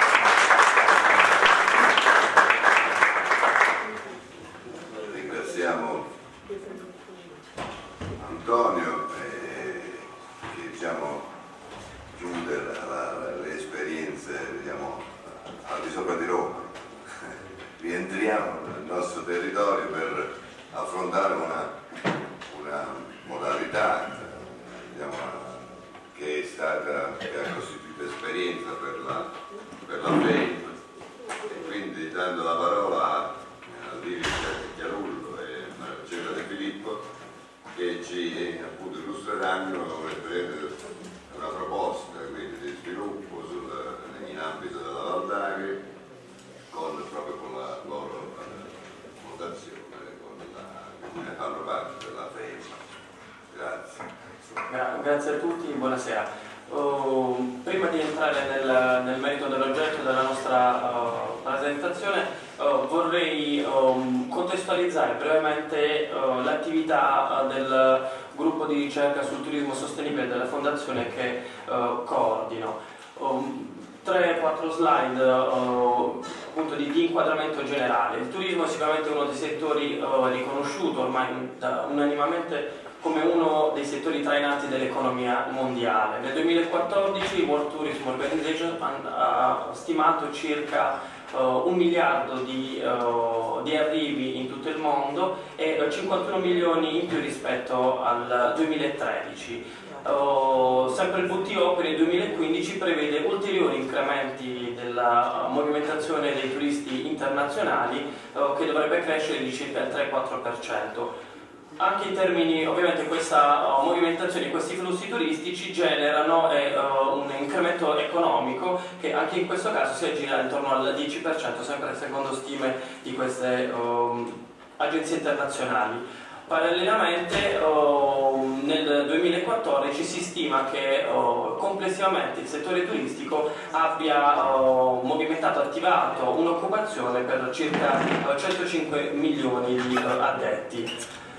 Il trend positivo si riscontra anche nella nostra regione. Nel 2014 la Basilicata ha continuato a incrementare la movimentazione turistica all'interno delle proprie strutture e, con circa 580.000 arrivi, con un 9% in più rispetto a quelli registrati nel, nell'anno precedente. Uh, si tratta di uh, flussi, come uh, si evidenzia in realtà molto bene dalla tabella a cui è legato, che sono sempre più spalmati sull'intero anno, quindi non polarizzati nei 3-4 mesi estivi e questo significa per il settore turistico lucano e per quindi gli imprenditori che lavorano in questo settore maggiori sostenibilità e maggiori profitti economici. Diciamo che oh, la stagione turistica in, in, Basilicata si sta sempre più allargando, oh, non coinvolgendo più soltanto i, i tre mesi estivi. Continua a essere un turismo prevalentemente domestico, quindi il tasso di internazionalizzazione, cioè i flussi provenienti dall'estero sono ancora molto, molto limitati, circa il, il 13%, il 14%, però anche questo va letto in un contesto un po' più generale, in quanto è un dato similare ad altre regioni del sud, quale ad esempio anche la Puglia. Uh, la Basilicata quindi uh, si conferma una regione dalle grandi uh, potenzialità um, da un punto di vista di attrattiva legate soprattutto al prodotto natura, circa il 25% del territorio della nostra regione è tutelato, sottoposto a tutela paesaggistica e naturalistica e ovviamente accanto al prodotto natura vi è quellocultura, ultima la destinazione di Matera come capitale europea della cultura. Oh, permangono tuttavia eh, delle, delle, sfide, delle criticità, quale ad esempio la perificità, la perifericità della nostra regione, comunque è, è a sud, oh, non ha aeroporti all'interno ha anche un'infrastruttura interna non sempre uh, agevole per visitare l'intero territorio. Tuttavia, um, è nostra convinzione che una corretta programmazione, pianificazione e promozione del nostro territorio potrebbe uh, permettere a queste caratteristiche di rendere di specificare, speci, specializzare maggiormente il nostro territorio, rendendolo quindi appetibile per un, un particolare tipo di turista che cerca l'esclusività, che cerca uh, un prodotto di nicchia, uh, cerca dei luoghi non ancora contaminati e lontani dal, dal comune. E in questo la Basilicata potrebbe assumere un ruolo e una rilevanza considerevole anche rispetto alle destinazioni che la uh, circondano. In questo contesto si inseriscono le attività del uh, gruppo sul turismo sostenibile della, della Fondazione eh, che dal 2008 ha sede, opera con una sede stabile a Viggiano ma interessandosi ovviamente di turismo a 360 gradi rispetto alla Basilicata Cosa facciamo? Oh, sicuramente in primis attività di monitoraggio e analisi oh, dei dati oh, sulla movimentazione turistica, indagini specifiche sul, sul, campo, quindi interviste, questionari, somministrazioni, incontri con gli operatori, studi di benchmark anche per permettere di capire come la nostra regione si muova rispetto ad altre destinazioni, ipotesi progettuali e soprattutto collaborazioni con, con enti e istituzioni locali con le quali abbiamo avviato ormai da anni anche oh, dialoghi oh, formalizzati anche da, da accordi oh, specifici. alcuni degli ambiti di ricerca che abbiamo affrontato in questi, dal, dal, 2008 sono qui elencati ma è tutto anche scaricabile e aggiornabile, mm, autonomamente visualizzabile all'interno della nostra pagina internet che è www.fem.it. Lì all'interno trovate tutti anche i nostri rapporti di ricerca. Tra le attività le principali mi sembra in questo contesto opportuno evidenziare turismo, eh, turismo natura, eh, rispetto al quale la eh, referente, la dottoressa De Filippo ci parlerà approfonditamente subito dopo il mio intervento, cineturismo, quindi come anche le pellicole cinematografiche possono promuovere l'immagine veicolare l'immagine di una destinazione, il turismo gastronomico, quindi legato uh, alla, ai prodotti tipici della nostra regione, turismo energetico, turismo degli eventi, quindi ad esempio come uh, e quanto un, uh, un, evento può diventare fattore di attrazione e quindi incentivare l'acquisto di una destinazione come la Basilicata. Uh, I nostri output, eh, e chiudo, sono ovviamente, uh, intanto essendo un ente di ricerca, uh, pubblicazioni, dissemination in, in vari termini, com convegni come questi, ma anche pubblicazioni scientifiche di portata nazionale e anche internazionale, ma anche, ed è la cosa che ovviamente ci interessa maggiormente, in molti casi cerchiamo poi di applicare le attività e gli studi che noi facciamo in formato o utilizzando le tecniche che dicevo prima, cercando di realizzare e concretizzare progetti. Ho messo soltanto a titolo di esempio due ipotesi progettuali, questo è quello che abbiamo fatto per il parco energetico della Valdagri e questo invece è, si, riferisce, si riferisce a uno studio rispetto a una ipotesi di realizzazione di un albergo diffuso nel comune di Viggiano. lascio la parola adesso alla dottoressa De Filippo che appunto ci entrare più nel merito rispetto al tema dell'oggetto uh, della nostra discussione che è appunto le potenziali turistiche del Parco Nazionale dell'Appennino Lucano.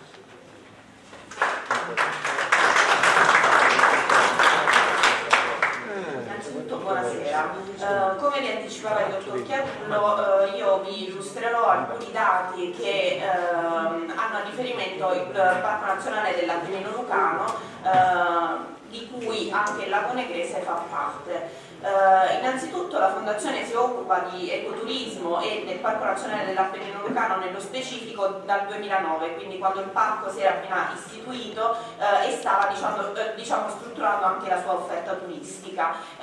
innanzitutto è stata fatta una stima della domanda potenziale e una valutazione su quanti turisti ritenevano il parco una meta appetibile. in seconda istanza ehm, la Fondazione si è occupata di un'analisi diagnostica che era utile all'ottenimento seguito dalla Carta Europea del Turismo Sostenibile, una certificazione eh, europea eh, che eh, pone in rete tutte le aree protette d'Europa. Ehm, e successivamente ci stiamo occupando della, dello studio della domanda turistica eh, del Parco dell'Appennino Lucano proprio ehm, in, in, seguito all'ottenimento della carta eh, e quindi al piano di azione quinquennale che eh, obbliga il parco a eh, diciamo, mh, mm, ehm, diciamo, tenere sotto controllo la domanda turistica e i segmenti turistici presenti nel parco.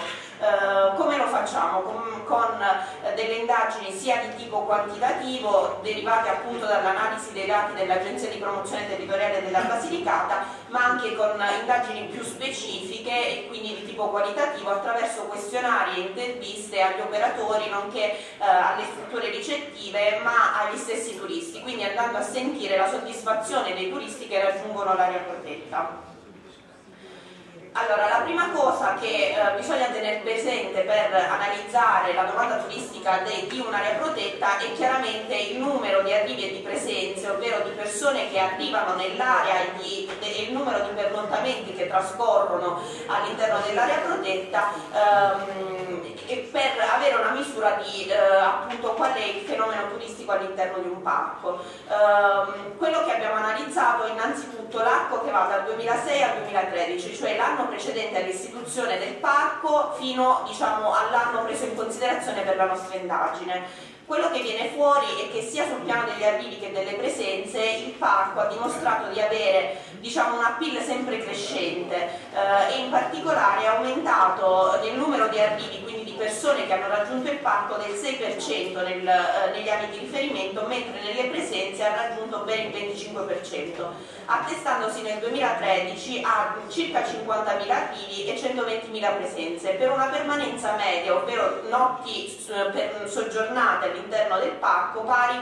a 2,4. L'altra analisi che è stata effettuata è ehm, quella di scorporare le tre aree territoriali che costituiscono questo eh, parco, ovvero la Val Camastra, eh, la Val d'Agri e il Lago per eh, vedere innanzitutto quale fosse il peso turistico di ognuna di queste aree e successivamente ehm, negli anni quanto queste fossero cresciute. Cosa si vede? Che il Lago Negrese per quanto abbia solo 5 comuni rispetto all'area della Val d'Agri che comunque è territorialmente più estesa rappresenta circa il 29% degli arrivi totali del parco quindi ha un peso comunque significativo ed è un'area eh, che eh, negli anni ha visto sostanzialmente una tenuta dei flussi. Ehm, diciamo che l'unico eh, neo è che ha una permanenza media piuttosto bassa, comunque di una notte inferiore rispetto alla Val d'Agri, area che comunque conta un um, buon numero di turisti di lavoro legate comunque alle attività estrattive, che chiaramente hanno una permanenza media piuttosto lunga rispetto uh, agli altri turisti.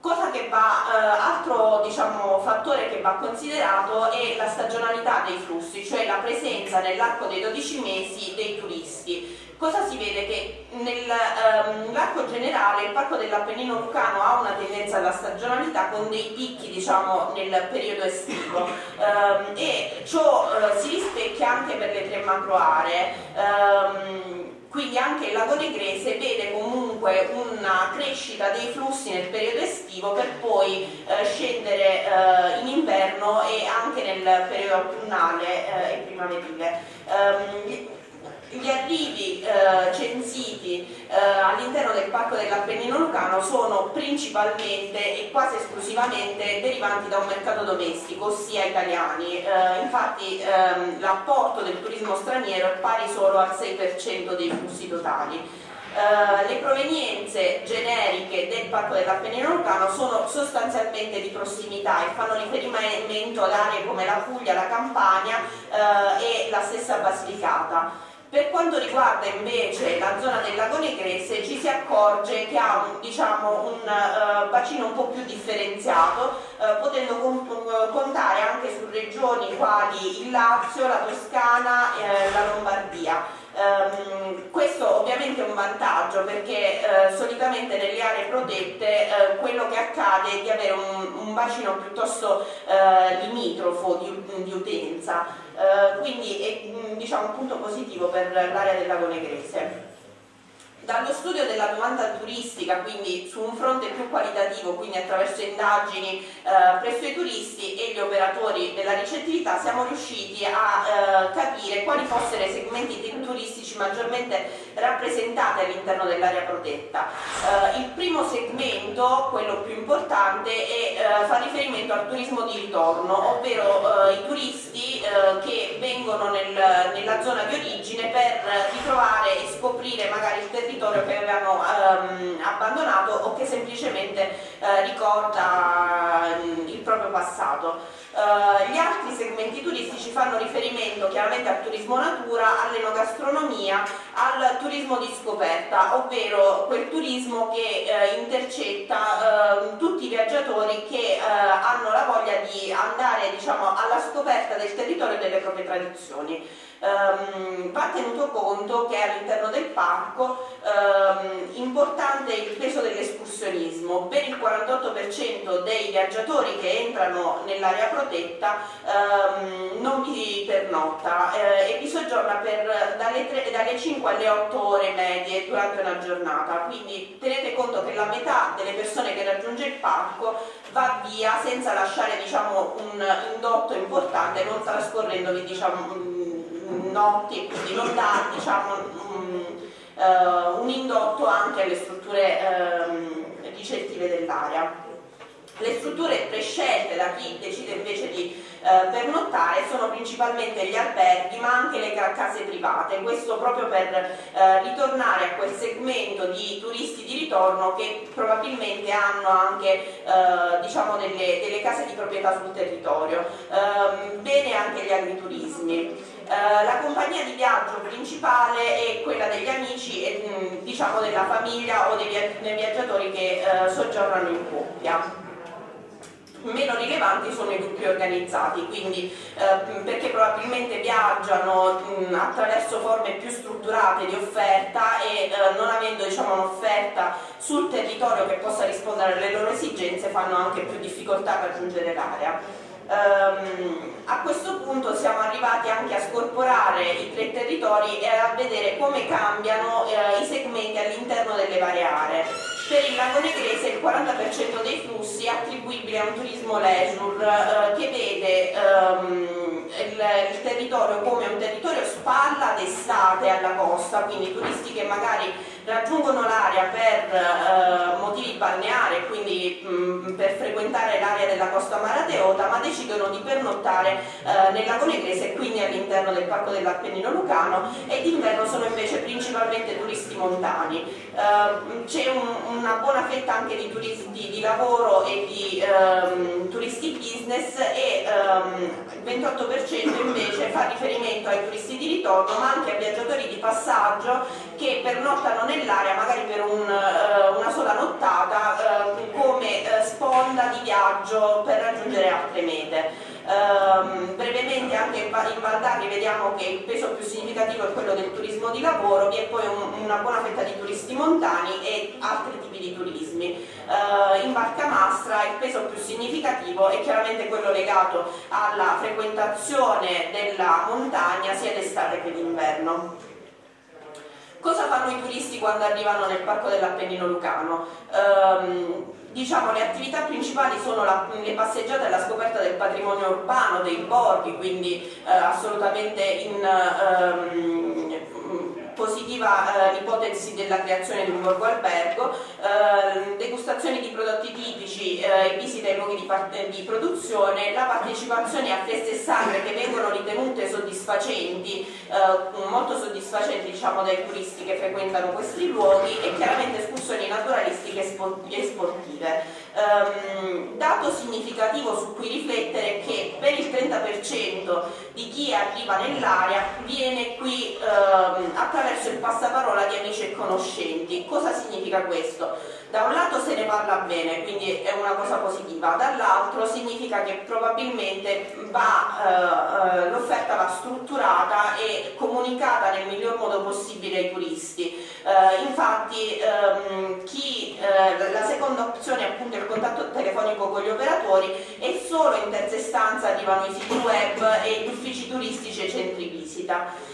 dato significativo su che eh, merita l'attenzione appunto di chi eh, gestisce eh, il fenomeno turistico nel territorio è che il 28%, quindi siamo quasi ad un turista su tre, durante il soggiorno nel parco fa escursioni giornaliere all'esterno del parco, quindi nonostante abbiamo una varietà di territori e di risorse non riusciamo a trattenere un terzo eh, dei turisti che soggiornano nell'area protetta. La cosa interessante è capire dove vanno questi turisti quando escono dal parco e in particolare dove vanno quelli del lago Negrese. Uh, le mete principali, come è anche abbastanza ovvio, sono Maratea e Pollino. Uh, alcuni si recano anche verso la Val d'Agri, eh, quindi il, il Sirino eh, e nella zona più interna. Eh, anche diciamo, la Valcamastra e la Val d'Agri cedono questi turisti alle aree limitrofe ehm, e ciò che è interessante eh, approfondire è che invece eh, il bacino circostante, e per bacino circostante intendo tutti i territori turistici che stanno nell'arco delle due ore di percorrenza dal centro ipotetico del parco, eh, non arrivano e non vedono come meta eh, di interesse il parco dell'Appennino Lucano. Rappresentano però comunque dei bacini importanti perché sono quelli che potremmo riuscire ad intercettare con più facilità perché chiaramente gravitano attorno all'area protetta. Da qui eh, l'ipotesi di eh, andare ad indagare quale possa essere la domanda potenziale del parco e chiaramente anche del lago Negrese. Come ci siamo mossi? Innanzitutto eh, abbiamo diciamo, eh, indagato su due settori trainanti, quello del turismo natura, essendo chiaramente correlato ad un'area protetta, e quello del turismo di scoperta, che è un turismo che diciamo, fa da cappello a tutti gli altri segmenti come il turismo enogastronomico, eh, il turismo culturale e che quindi può racchiudere all'interno tutta una serie di eh, diciamo, target turistici che noi potremmo eh, chiaramente intercettare. Uh, I tre bacini fondamentali da tenere in considerazione sono le scolaresche provenienti dall'area del PNAL e del bacino mh, limitrofo, quindi sempre all'interno delle due ore, i residenti e i turisti che soggiornano nel bacino di riferimento. Uh, qual è il dato significativo? Innanzitutto torno sulla slide precedente per dire che chiaramente è una previsione, non è che tutti quelli che potremo intercettare eh, chiaramente eh, arriveranno nel parco, ma eh, con un'offerta adeguata e una giusta promozione nell'arco dei 5 anni si potrebbe arrivare ad un massimo di questi eh, turisti. Cosa, eh, quindi cosa accade? Che siamo andati praticamente a prendere per ogni area eh, geografica il numero di residenti scolaresche e di turisti che soggiornano nel, nelle prossimità del parco motivati dal turismo natura e dal turismo di scoperta. Come vedete tutti i territori considerati hanno dei numeri superiori a quelli che sono in effetti già ora presenti nel parco, quindi sono tutti bacini che potrebbero rientrare all'interno dell'area protetta e cementificare eh, il turismo nel parco. Stessa cosa per le scolaresche, che come vedete hanno numeri importanti, il turismo eh, scolastico è un settore fondamentale per le aree protette perché chiaramente concilia miss la missione del parco di divulgare il valore del, dell'ambiente e della natura e chiaramente fa anche ehm, diciamo, crea indotto sul territorio, così come visitatori ehm, in vacanza nel bacino ehm, limitrofo eh, derivati appunto sempre dal turismo di natura e turismo di scoperta. A questo punto abbiamo messo tutti eh, eh, questi dati all'interno di una matrice per capire come si posizionano i vari prodotti sia per dotazione di fattori chiave sia per l'offerta quindi territoriale presente eh, nel parco che per questa domanda potenziale e cosa è venuto fuori? Che il, ta, il uh, segmento più strategico per il parco, al di là di quanto si possa credere, non è il turismo natura, ma il turismo di scoperta, perché in effetti i territori uh, che, uh, viviamo, che, viviamo, insomma, mh, sono particolarmente ricchi e interessanti per chi cerca appunto la tradizione e la scoperta del di aree particolari eh, e ehm, mentre la natura eh, diciamo, ha bisogno di una maggiore dotazione di risorse che al momento eh, sem sembra diciamo, più carente. Ehm, in particolare eh, vi è soprattutto un'intensa concorrenza eh, sul, sul, territorio, pensiamo che siamo a due passi dal Pollino, anzi Lauria è a cavallo tra eh, il Pollino e il Parco dell'Appennino Lucano e quindi bisogna agire diciamo, in corrispondenza su due piani, il turismo di scoperta e il turismo natura. Uh, è chiaro che per poter aumentare l'appeal del Parco dell'Appennino Lucano che risente anche di una minore riconoscibilità uh, a livello nazionale tra tutti gli altri parchi, uh, sarebbe opportuno valutare delle integrazioni con territori chiaramente più attrattivi rispetto all'area del, del Parco dell'Appennino Lucano e come vediamo eh, nel caso in cui si pensi a una sorta di integrazione con altri territori eh, crescono sia il prodotto scoperta che il prodotto natura e in particolare le integrazioni che possono essere realizzate, che possono portare diciamo, a dei fattori di eh, sviluppo all'interno del Parco dell'Appennino Lucano sono eh, queste. Eh, per il turismo montano bisognerebbe studiare un'integrazione con chiaramente l'offerta del Pollino e del Gallipoli Cognato, per il turismo di scoperta eh, con la costa ionica che è un bacino diciamo, piuttosto nutrito di turisti, rappresenta eh, quello più trainante per eh, il turismo della Basilicata, eh, con il Parco delle Chiese Rupestre, quindi con il Materano, ma anche con Maratea e il Pollino. Eh, stessa cosa per il turismo natura e in particolare vediamo di nuovo tornare il Pollino, un'integrazione quindi con eh, l'area protetta che ha diciamo, un valore ehm, una riconoscibilità più forte rispetto a quella dell'Appennino Lucano e con la costa marateota. Su, questo, eh, su questa scia la Fondazione Mattei ha iniziato ad ipotizzare delle integrazioni, la prima con la costa ionica che abbiamo chiamato Green Road ehm, e ehm, quindi a cercare di ehm, portare avanti una progettualità che connettesse il territorio della costa con quello dell'entroterra in modo da favorire eh, entrambi i territori perché chiaramente l'entroterra potrebbe attingere da questi bacini mentre eh, la costa potrebbe qualche modo cercare anche di destagionalizzare la sua offerta proponendo eh, un, eh, diciamo, un, un, pacchetto più differenziato di prodotti eh, e eh, con un territorio anche più ampio su cui muoversi. Da qui sono nati due itinerari, uno culturale e uno naturale, che ehm, diciamo, riescono a valorizzare tutte le risorse che si presentano lungo, lungo questo asse che è la 598, che è l'arteria che collega per appunto la costa ionica con eh, l'entroterra eh, della Valdagna e della Valcamastra con un, dei territori particolarmente eh, interessanti sia dal punto di vista eh, morfologico che turistico eh, e eh, dietro questi itinerari chiaramente c'è una progettualità con centri visita eh, e eh, una serie di strutture che mirano appunto ad enfatizzare queste risorse. Uh, la stessa progettualità si è pensato di trasportarla sulla costa tirrenica e quindi coinvolgendo anche l'area uh, del uh, lago negrese um, credendo che visto che i turisti insomma, vanno verso Maratea del Pollino e che quelli del, del Pollino e de, di Maratea non rientrano poi nell'Appennino Lucano possa essere eh, interessante cercare di portare avanti un progetto che invece cerchi di, di, convogliare questi turisti e di portarli alla scoperta di un territorio comunque meritevole come quello dell'Appennino Lucano. Eh, e eh, su questo progetto diciamo, siamo ancora eh, in fase ehm, di, di, abbiamo iniziato già a somministrare dei questionari sulla costa ehm, marateota nell'estate per capire se i turisti eh, di diciamo, ehm, interessati, i turisti balneari fossero interessati a scoprire l'entroterra e eh, dai primi dati che eh, ci vengono restituiti eh, sembra che ci sia comunque un forte interesse a visitare questi luoghi. Um, è per questo che anche la Fondazione Mattei si trova qui proprio anche mh, con il Comune per cercare di capire se questa progettualità possa interessare anche al Comune di Lauria e quindi provare a portare avanti uh, queste iniziative insieme. Grazie mille.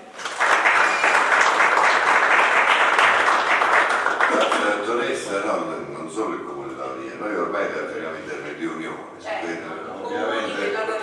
Non esiste più la singola municipalità.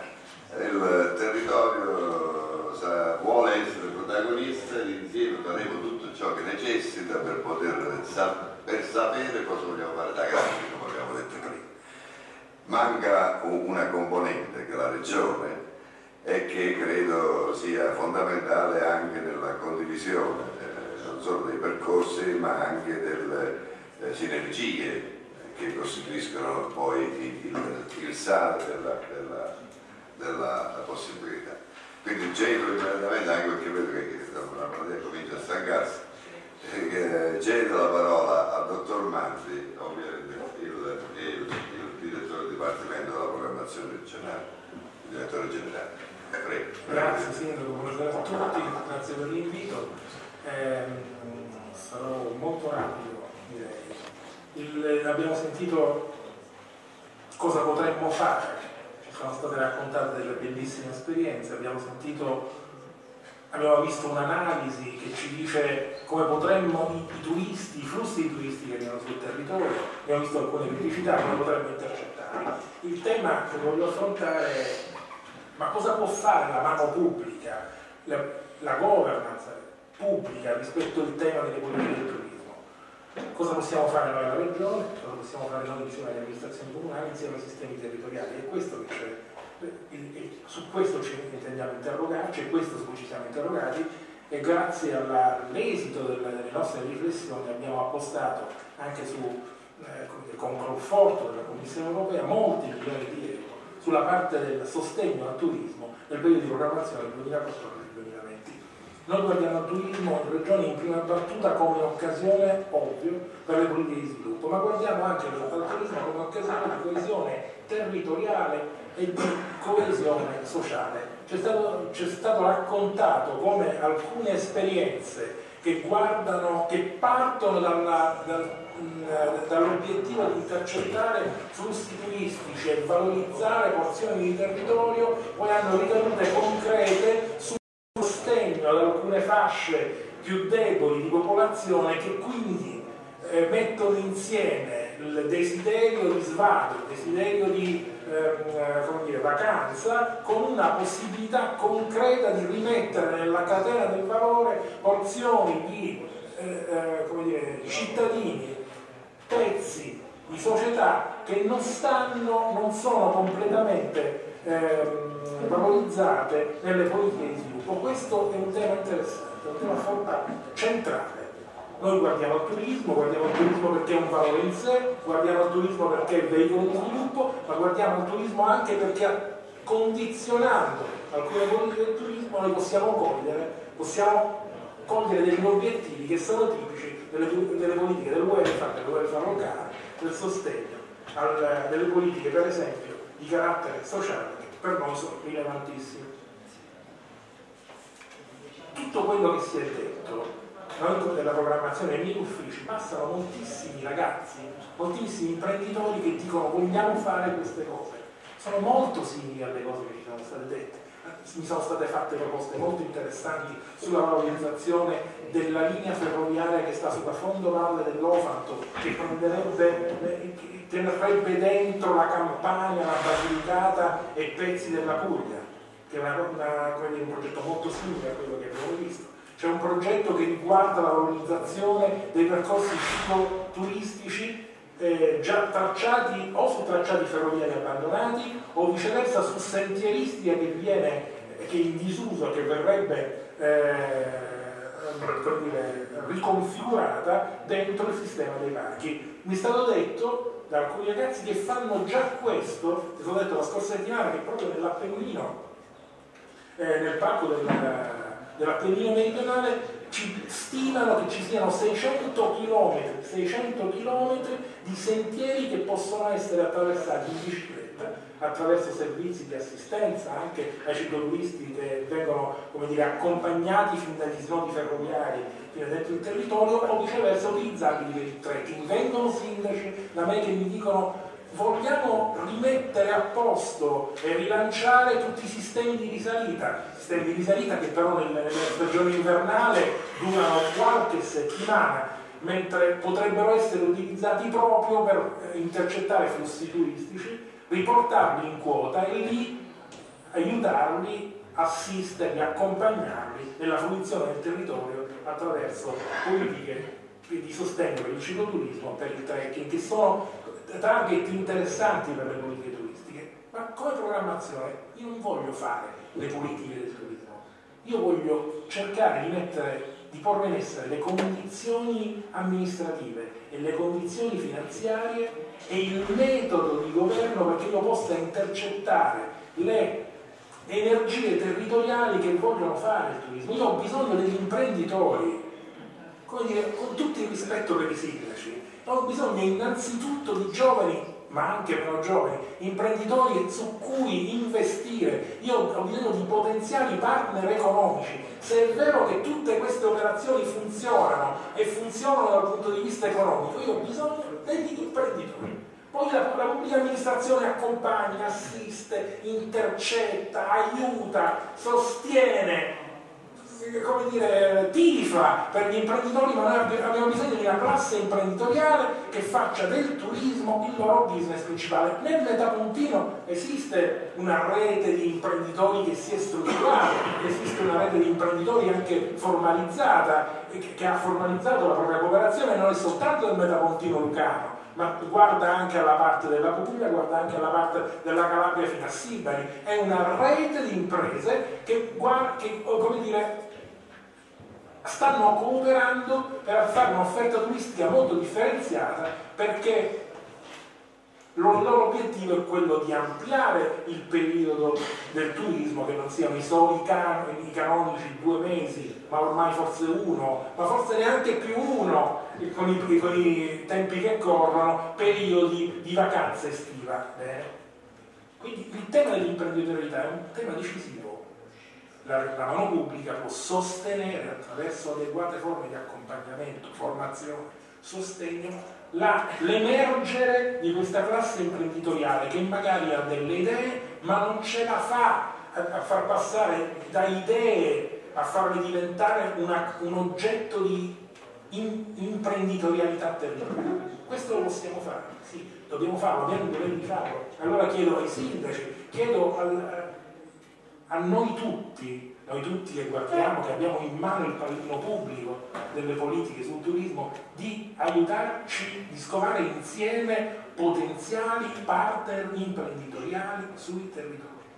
Questo è decisivo, se no ce la raccontiamo tra di noi, pubblica amministrazione, poi beh, mettiamo pure i soldi, però questi soldi magari ci sono, come dire, si formano del, degli interessi talvolta occasionali non sono degli imprenditori che abbiano dire, una cultura, che hanno sviluppato una cultura imprenditoriale adeguata e in qualche modo le risorse pubbliche vanno non adeguatamente spese per il sostegno al settore turistico. Noi abbiamo bisogno di far nascere una classe imprenditoriale che guardi al turismo come una vera prospettiva eh, di business per il futuro. Esiste questa classe imprenditoriale? Probabilmente sì, è ancora non sviluppata non ha sviluppato appieno le sue potenzialità, dobbiamo intercettarla, aiutarla, accompagnarla e far sì che dire, possano vedere le forme nuove, meno tradizionali del turismo, che sono quelle che ci hanno raccontate.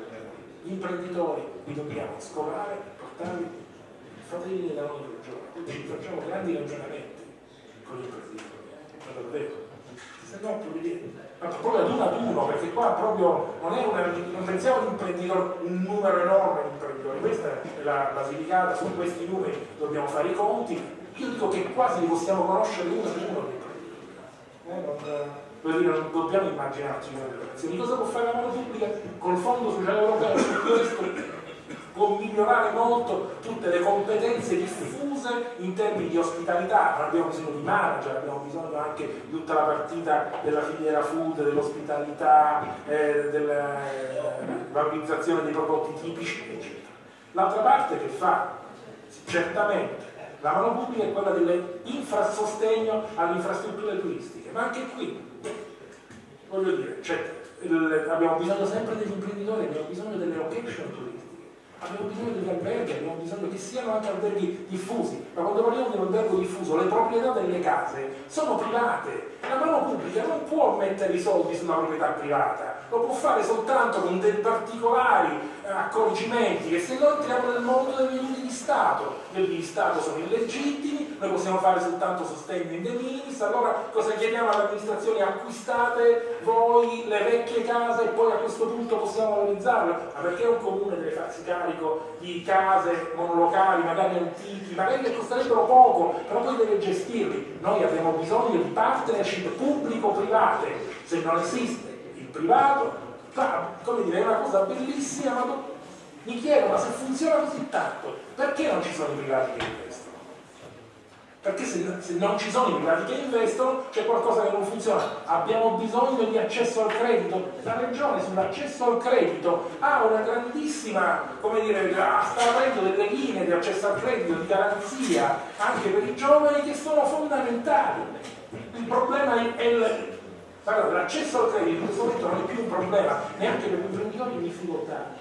Perché se passano dalla regione siamo noi che garantiamo. È la regione che si fa da garante anche per imprenditori in difficoltà che in questo momento le banche neanche guarderebbero, neanche le farebbero entrare, perché moltissimi imprenditori da noi sono in difficoltà noi abbiamo un, un, un, aperto un credito che si chiama, tutto un programma di credito, si chiama microcredito, noi fino a 120.000 euro, di cui il, 60%, il 50% è a fondo perduto, il 50% invece viene dato con un rimborso che è pari quasi al rimborso del capitale. Noi ci facciamo addirittura in, eh, dire, il carico con un fondo sul conto interessi. Portiamo imprenditori ad operazioni che siano sostenibili dal punto di vista economico. Poi c'è un altro tema. La mano pubblica può dire mentre mi fai un'operazione sostenibile dal punto di vista economico, perché non ci possiamo far carico per tutta la vita di cooperative che nascono oggi, poi domani non ce la fanno più e poi è sempre dire, la, mano, il, la regione che deve sostenere questi ragazzi, ragazze che non possiamo abbandonarli in momenti di difficoltà allora diciamo la sostenibilità economica deve essere garantita e ci sono tutte le premesse perché ciò avvenga. C'è il tema della pubblica amministrazione che può dire mentre tu mi fai degli investimenti sul turismo, io posso orientare il tuo investimento a finalità che non siano solo private, ma che siano anche pubbliche? Faccio un esempio. Se io investo sulle strutture private dell'ospitalità, alberghi, strutture turistiche, l'imprenditore in qualche modo riposiziona, rinvesto per la riqualificazione edilizia ed energetica, questo è il mio. La bolletta energetica dell'imprenditore è una bolletta estremamente elevata. Allora io dico ti posso aiutare direttamente aiutandoti, sostenendo la tua riqualificazione energetica dell'impresa e questo ti consente di riposizionarsi, riposizionarti eh, sulla competitività perché abbassa il tuo costo di gestione. Ma mentre faccio questo, quindi sostengo l'impresa, colgo un obiettivo pubblico che è quello della riduzione dei consumi energetici, secondo tutta la riduzione delle emissioni climalteranti, che è uno degli obiettivi della pubblica amministrazione. Mentre sostengo politiche di turismo, posso agganciarci politiche di welfare sociale? Assolutamente sì. Ci posso agganciare politiche di riqualificazione dei borghi storici? Sì, ma me l'avete detto voi, se voi fate un borgo albergo dentro un, eh, un perimetro urbano di interesse, quello può essere l'innesco di una rivitalizzazione di quel territorio che altrimenti come dire, ci morirebbe in mano. Allora mentre faccio il sostegno al borgo albergo, classico sostegno al turismo, io faccio un sostegno, come dire, eh, eh, faccio un'operazione di coesione territoriale per la rivalorizzazione di quei territori. Questo lo possiamo fare questo c'è scritto nelle carte, questo facciamo sul 1420 e questo dobbiamo fare insieme. Non c'è sta imprenditori, amministrazioni pubbliche, dobbiamo intercettare vocazioni, energie, voglia di fare. Tutto il resto, il denaro in certi momenti non è un problema. Il denaro pubblico non è un problema, l'accesso al credito non, è, non sarà un problema se abbiamo come dire, delle, degli imprenditori che vogliono fare degli imprenditori. Se rifinisco con l'ultima notazione. Esiste una fortissima energia, c'è un sacco di persone che vogliono fare questa cosa, tra gli agriturismi nella maniera più tradizionale, poi ci sono i percorsi e poi c'è il trekking, il cicloturismo. Mi propongono la, una, un percorso cicloturistico che va da Lago Negro e arriva fino in Calabria, che era vec un vecchio tracciato di una ferrovia, sono 108 km che potrebbero essere... Eh? Lago Negro Spezzano, chiedo scusa, che sono, come dire... Bene, chiedo scusa, sono arrivato in ritardo, quindi scusate, non sapevo questo, ci sono fermenti sul tema. Se noi vogliamo, uno degli aspetti critico è quello del marketing territoriale, noi dobbiamo dare un'idea che qui in Basilicata esistono luoghi, ed è facile dare un'idea, perché è bellissima la Basilicata, esistono anche possibilità, come dire, servizi che intercettano questi flussi turistici. Dobbiamo fare attraverso adeguate attività di marketing dobbiamo dare un'idea un di, un, di, unità territoriale, dobbiamo dare l'idea di un brand basilicata che viene venduto in, in giro per il mondo. Su questo probabilmente la mano pubblica può fare, perché abbiamo bisogno di mettere a sistema dentro una strategia regionale tutti questi fermenti territoriali. Allora, quando io dico però mettere dentro una strategia territoriale, una strategia regionale, che viene costruita insieme ai territori con delle strategie territoriali. Però vi prego, le mie le biblioteche, le librerie della regione, le librerie vengono dai ministeri, le, le biblioteche dei ministeri sono piene di strategie. Ne abbiamo scritte in questi anni di tutti i tipi, qualunque cosa c'è una strategia. No, facciamo una cosa, proviamo a fare una cosa, una strategia semplice, 20 pagine, non c'è bisogno della Treccani, delle strategie sul turismo 20 pagine ci diciamo cosa fare, ci accordiamo su quelle cose che dobbiamo fare, ci accordiamo insieme con gli imprenditori, con i sindaci, con chi ci vuole stare su questa partita e lo facciamo da parte della regione. Noi abbiamo negoziato, abbiamo finito di negoziare adesso i programmi operativi 14-20 eh, per tutta la partita del FESRA e FSE.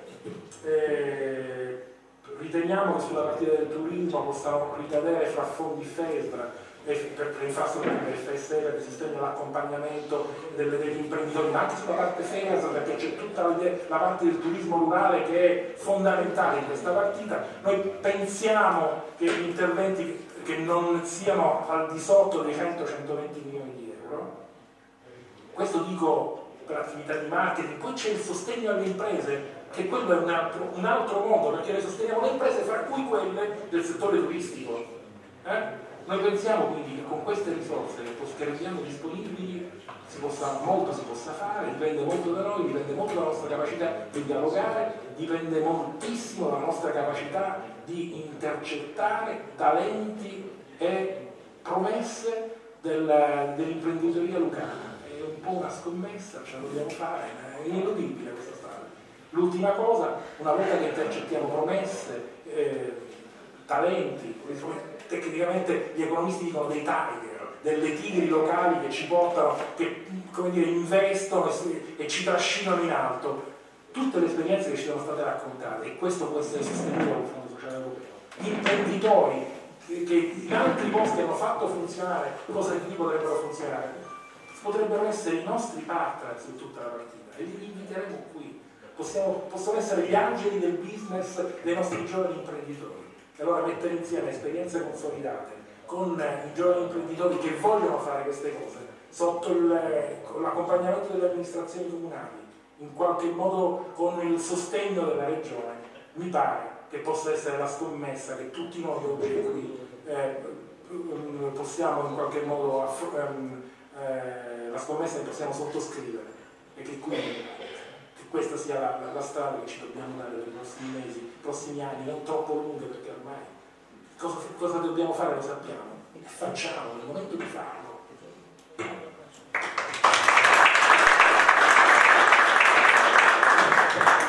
Grazie dottor Monti per l'incoraggiamento e anche per le certezze, per le certezze che ci, Certezze, insomma.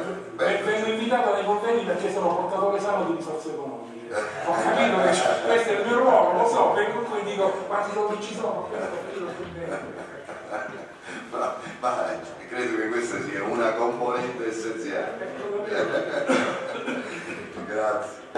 Diamo quindi la parola all'assessore che cercherà di, di fare sintesi e di darci una visione europea di quanto abbiamo discusso questa sera. Allora, non voglio angariare i pochi valorosi superstiti che sono ancora qui, che ci stanno ascoltando, quindi cerco di essere breve, brevissimo. Innanzitutto ringraziando Gaetano Vetivieri, voi tutti i sindaci che avete fatto quest'ottima operazione di unione, insomma, nelle cose, nelle corde, nell'attualità, nella, nella speranza del futuro che non sia quello di realtà parcellizzate, senza più strumenti, non ce la fanno, cercano di elaborare una visione anche comune eh, delle soluzioni, guardando i problemi che spesso sono comuni, talvolta sono anche diversi, ma insomma le soluzioni vanno elaborate con una visione più larga possibilmente e credo che esperimento stia funzionando, funzioni. E anche questa iniziativa di stasera, ne ha fatta un'altra poco tempo fa, eh, credo sia proficua perché voglio mettere i panni del, un sindaco, insomma, questo di fare mh, sollecitazione culturale, confronto anche sulle soluzioni tecniche che si possono trovare, chiamando anche persone di fuori con i quali confrontarsi, cioè credo che sia mh, qualcosa di molto positivo eh, e ci consente anche di non rinchiuderci tra noi stessi e cercare di rinverdire magari vecchie proposte e soluzioni che non hanno trovato sfogo fino ad oggi sfogo, quindi credo che sia una, una cosa meritoria quella insomma, che state, state facendo e che avete fatto nell'organizzazione di questa serata. Andiamo poi alla ciccia del problema. Qui noi parliamo di due infrastrutture, una la siciliana Lago Negro e l'altra appunto è la Lago Negro eh, Spezzano eh, Albanese due storie diverse in certa misura, due infrastrutture molto diverse, la prima mh, sono circa 78 km, è stata disattivata sostanzialmente nell'87, sapete perché? Perché si era proceduto a fare l'elettrificazione della potenza Salerno, quello fu un po' il problema, mh, di lì venne sostanzialmente abbandonata, ma guardate, quella era, era è un tracciato che all'epoca era performante perché vi viaggiavano treni a quattro casse, che significa che portavano diverse persone. Qual è stata la- l'alternativa? Sono stati i servizi sostitutivi, sostitutivi che tutt'oggi gravano sul contratto di servizio della campagna, eh, che vengono fatti e si scaricano sulla viabilità ordinaria con insomma,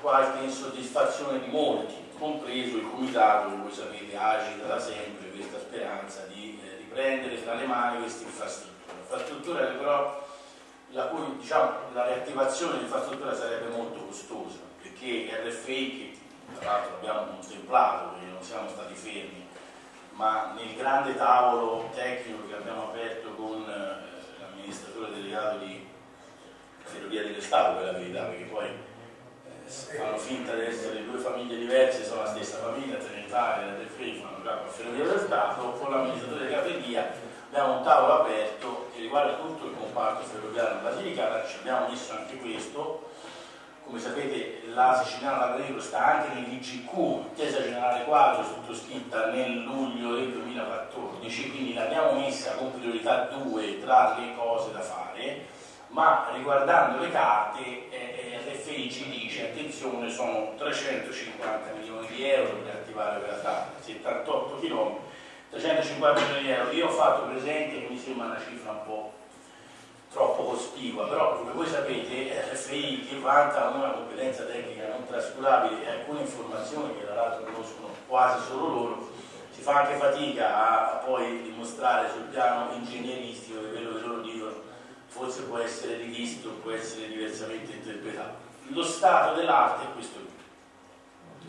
Eh, quindi tema, domanda, risposta. Che si fa con la Siciliana Lago Negro sul versante di attivazione? Io, noi l'abbiamo messa nella programmazione, sta nell'intesa generale quadro, però di lì a trovare i soldi per riattivarla ce ne passa, ce ne passa tanto, quindi essere onesti e dire, guardate, 350 milioni non ce l'ha nessuno per attivare questa tratta qui, nonostante, ripeto, la utenza fosse, attualmente non c'è ragione di pensare che sia, eh, sia diminuita abbastanza, abbastanza cospicua, tenendo conto che questa tratta interessa il territorio lucano per la quindicina di chilometri sostanzialmente, quindi eh, noi qui come soggetto coinvolto siamo, coinvolto siamo, coinvolti per minima parte, anche se ovviamente l'infrastruttura ci interessa, perché l'infrastruttura eh, può fare tante cose. L'altro tratto è un tratto invece molto più desueto,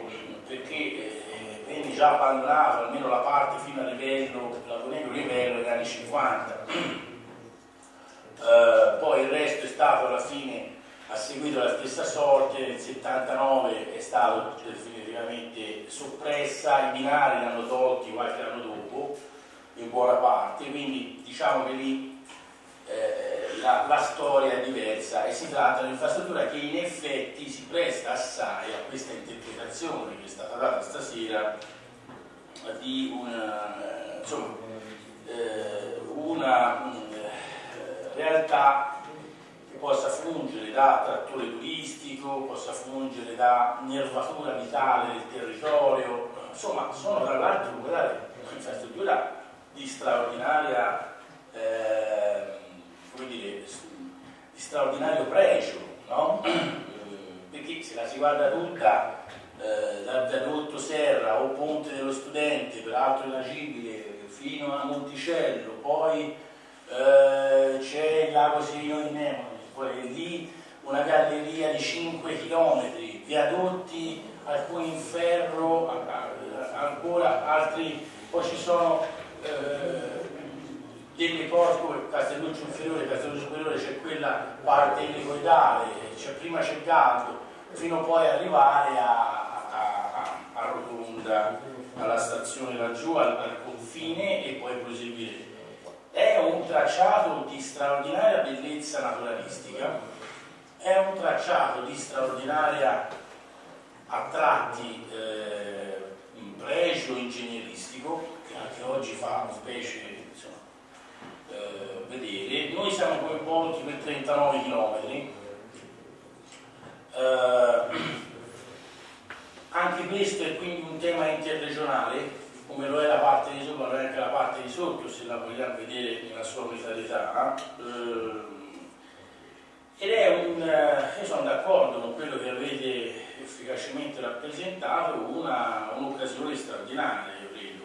Di sicuro noi non possiamo assegnarci a lasciarla lì, l'infrastruttura in quelle condizioni di durezza, anche se, come sappiamo, Basilicata non è mica la sola, perché noi tenete conto che il secondo pezzo è a scartamento ridotto, mentre il primo, il primo RFI è a scartamento ordinario.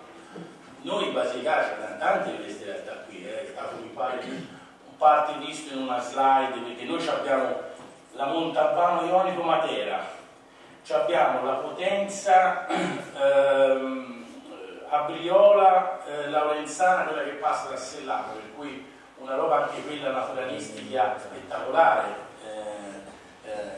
di, di, di pregio anch'esso. Poi abbiamo questa qui, eh, sono, siamo un, territorio disseminato di queste eh, occasioni, di queste infrastrutture di pregio che via via sono state abbandonate perché non rispondevano più alle esigenze complessive, alcune sono state come dire, eh, viste come non più praticabili, i costi sono aumentati, poi man mano che si sta abbandonando un anno, l'anno dopo occorre spendere um, delle risorse estremamente significative per riattivarla, perché una cosa è mantenerla in vita, una cosa è farla resuscitare. Insomma, eh, ci troviamo in questa, in questa condizione. Eh, io sono d'accordo, non voglio spendere parole più di quanto già efficacemente detto sull'opportunità di eh, esplorare queste prospettive di recupero e declinarle nel modo in cui io stesso penso sia nella vocazione di questa regione, che deve puntare sul turismo sostenibile, sul turismo dei parchi, sul turismo naturalistico, facendo quello che avete detto, che avete detto meglio di me, cioè pensando a queste infrastrutture come un'occasione per richiamare le persone sul nostro territorio, volgere verso un turismo che è quello delle, della, della, delle greenways, della, della, bicicletta e non solo. Eh, coniugare questo con questa straordinaria esperienza dei parchi, noi le statistiche ci dicono che nei parchi tendenzialmente la crisi per esempio si è avvertita meno, perché eh, si tratta di isole felici laddove fanno e sanno fare il loro mestiere, eh, che non è solo quello di tutelare eh, come mettere il patrimonio in una teca, ma quello di valorizzare, quello di richiamare, quello di sviluppare nell'ottica che tu dicevi efficacemente Elio, cioè dell'impresa ambientale, perché noi abbiamo bisogno proprio esattamente di questo, no? abbiamo bisogno di pensare a che Keynes pensava a rivitalizzare l'economia con una leva pubblica che fosse temporanea, non una leva strutturale, che se diventa strutturale non è più una leva di bilancio, diventa una patologia, eh, diventa la morte dello sviluppo stesso. Due, noi abbiamo bisogno di disseminare la regione di una capacità imprenditoriale nel settore ambientale che poi è quella che ci consente di guardare al futuro, perché se noi pensiamo di assistere all'impresa ambientale, quella così come nasce muore il giorno dopo, una volta che chiudiamo il rubinetto delle risorse pubbliche. Eh, I parchi devono, eh, lo sanno fare quando vogliono, declinare tutto questo nel, nel senso di, di, che abbiamo appena detto, quindi sono straordinariamente d'accordo su questo. Ci sono però anche dei temi tecnici complicati.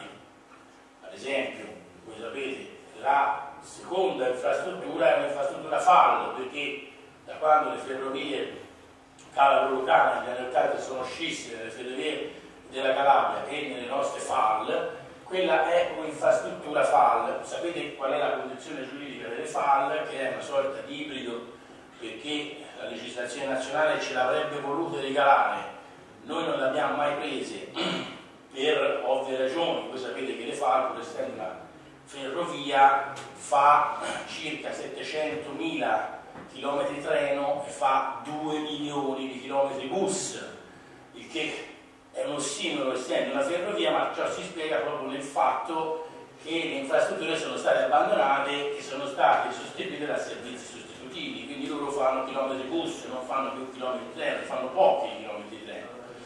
Eh, lì c'è tutta una legislazione che va dal decreto legislativo del 97 fino al eh, DPCM del 2000, poi c'è stato il nostro contratto quadro del 2000 anch'esso, eh, e, e lì ci pone un problema tecnico che è quello della proprietà di questa infrastruttura, perché cosa dice la normativa nazionale? La normativa nazionale dice guardate questo è demanio, ve lo diamo a voi regioni gratuitamente, noi abbiamo noi in passato la regione pensato bene di non prenderlo per demanare lì perché poi significava spendere non pochi soldi per poterlo mantenere poi quando voi lo rivendete se lo allenate dovete prevedere un corrispettivo e quindi prima periziare il valore che è il caso della stazione di Piazza Matteotti a Matera no? per cui il comune vuole fare le, eh, parcheggi quella è la stessa situazione in cui versa la eh, ferroviaria qui, cioè sempre demanio che deve essere prima trasferito alla regione e la regione lo trasferisce al comune, solo che il primo pezzo è a titolo gratuito, il secondo necessita di un corrispettivo e la cosa è complessa, non tanto in questo caso qui dove il corrispettivo sarebbe esiguo, ma in quello il corrispettivo è molto elevato. Eh, quindi ecco, c'è da mettere mano all'aspetto giuridico di questa trasformazione, che non è una discherata, eh, lo dico per gli amici toscani, eh, Sandro è senese, eh, l'altro non vi fidate è un toscano diverso, è pistoiese. Eh, ecco, non è una discherata capire bene come funziona il meccanismo, perché ci sono dei tempi, bisogna attraversare una serie di passaggi anche col MIT, il CEL demanio, quella del nostro patrimonio, vedere come congegnare questo meccanismo e poi c'è anche il tema prospettive, perizie e quant'altro e ovviamente questo lo si fa quando uno ha effettivamente declinato in maniera sostenibile quello che è un progetto infrastrutturale del che si vuole fare di questa, questa infrastruttura. ripeto, io credo che sia una battaglia, come tu dicevi Elio, una sfida che vale la pena di giocare. Credo che questa iniziativa di stasera ci consenta di partire con un ragionamento avviato. Credo che insieme noi potremo studiare insieme a tutti gli stakeholder del territorio un percorso per avvicinarsi a queste grandi opportunità che venivano descritte, no? che rischiano di acuire o divare da sud e nord perché il nord si sta attrezzando con le infrastrutture che ha e noi sia lato infrastrutture vive che lato infrastrutture morte siamo indietro, invece dobbiamo, eh, dobbiamo recuperare il tempo, eh, il tempo perduto, sempre nella consapevolezza che l'infrastruttura, come tu dicevi, è la condizione di uno sviluppo. E questo deve fare la pubblica amministrazione. La pubblica amministrazione non deve fare posti di lavoro, la pubblica amministrazione deve creare le condizioni per fare perché i posti di lavoro non durino un giorno, possibilmente, ma si dissemini nel territorio proprio quella capacità di fare impresa che le, le dà le gambe lunghe per sopravvivere anche in un, in un futuro. Eh, e questo, guardate, quando si tratta di bellezze infrastrutturali, naturalistiche, architettoniche, va fatto con sapienza io e Sandro veniamo da una città, Siena, eh, che ad esempio vive un, certo qual problema. Il turista giapponese eh, visita Siena in 45 minuti. Arriva, scende dall'autobus, segue la donnina con l'ombrellino, fa il giro di 45 minuti e se va. Quello che beneficio lascia alla città, si è studiata una, no, una vera dire, visione strategia di, attra di, attrattiva duratura, gli creo l'intrattenimento, lo porto in giro, eh, gli do da dormire in maniera adeguata, ne abbiamo a sufficienza di ricettività, di quale tipo, eh, a quale costo, eccetera, eccetera. Quindi per dire, anche città d'arte che vivono il turismo tutta la vita ancora tanti problemi non l'hanno risolti. Noi qui che mi piaceva l'analisi che faceva la dottoressa De Filippo, perché ha fatto un'analisi interessante dei parchi, chi ci va perché, cosa vuole trovare, eh, la scoperta o eh, eh, la mera dire, contemplazione naturalistica, eccetera, eccetera, quello è un'analisi molto utile se si fanno progetti di questo tipo, perché ci dice qual è la domanda a cui io devo allestire l'offerta, se no io allestisco un'offerta e non incontra una domanda perché la domanda ho davanti è diversa. Quindi questi sono germi che ci consentono di gettare le basi per un ragionamento ampio che ci possa portare lontano. Ripeto e chiudo, mi pare una sfida che vale la pena di, di cogliere, eh, risorse sono tante, ma insomma i tavoli sono anche aperti, noi dobbiamo avere il coraggio, eh, e grazie anche a Matera Capitale, abbiamo un volano anche in più per chiedere al governo nazionale di darci una mano in tante cose, non vedrei perché no anche sulla rivitalizzazione delle infrastrutture a fini turistici, visto che noi stessi, io compreso ad esempio il piano nazionale delle porte, ho fatto inserire a forza o quasi eh, un capitolo sulla mobilità turistica che parla della Basilicata. Eh, se, eh, se non andiamo in quella direzione io credo che ci sarà, che ci sarà una possibilità che potremmo cogliere. Chiudo con una battuta al nostro amico Vertua eh, su questa tartaruga.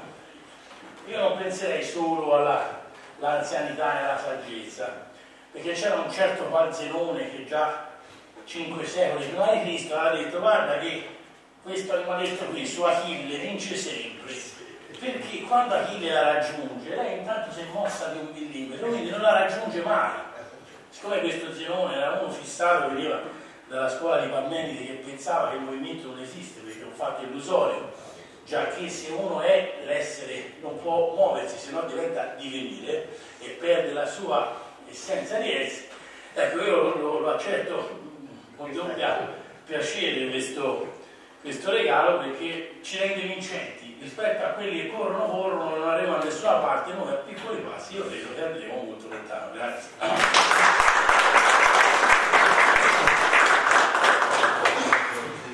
Grazie Assessore, grazie della, di questa chiosa e con questo augurio eh, ringraziare i colleghi sindaci che hanno avuto eh, la disponibilità a rimanere fino a questo momento che credo che ci siano tutte le condizioni per poter diciamo, riaprire un tavolo e aprirlo diciamo, con le buone prospettive e la giusta visione.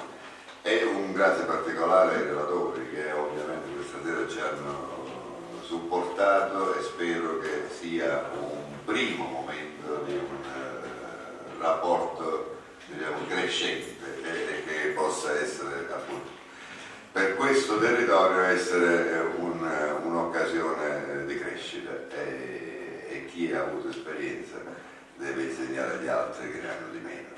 Su questo principio credo che potremo crescere tutti quanti di più. Quindi Grazie di nuovo e buonasera a tutti.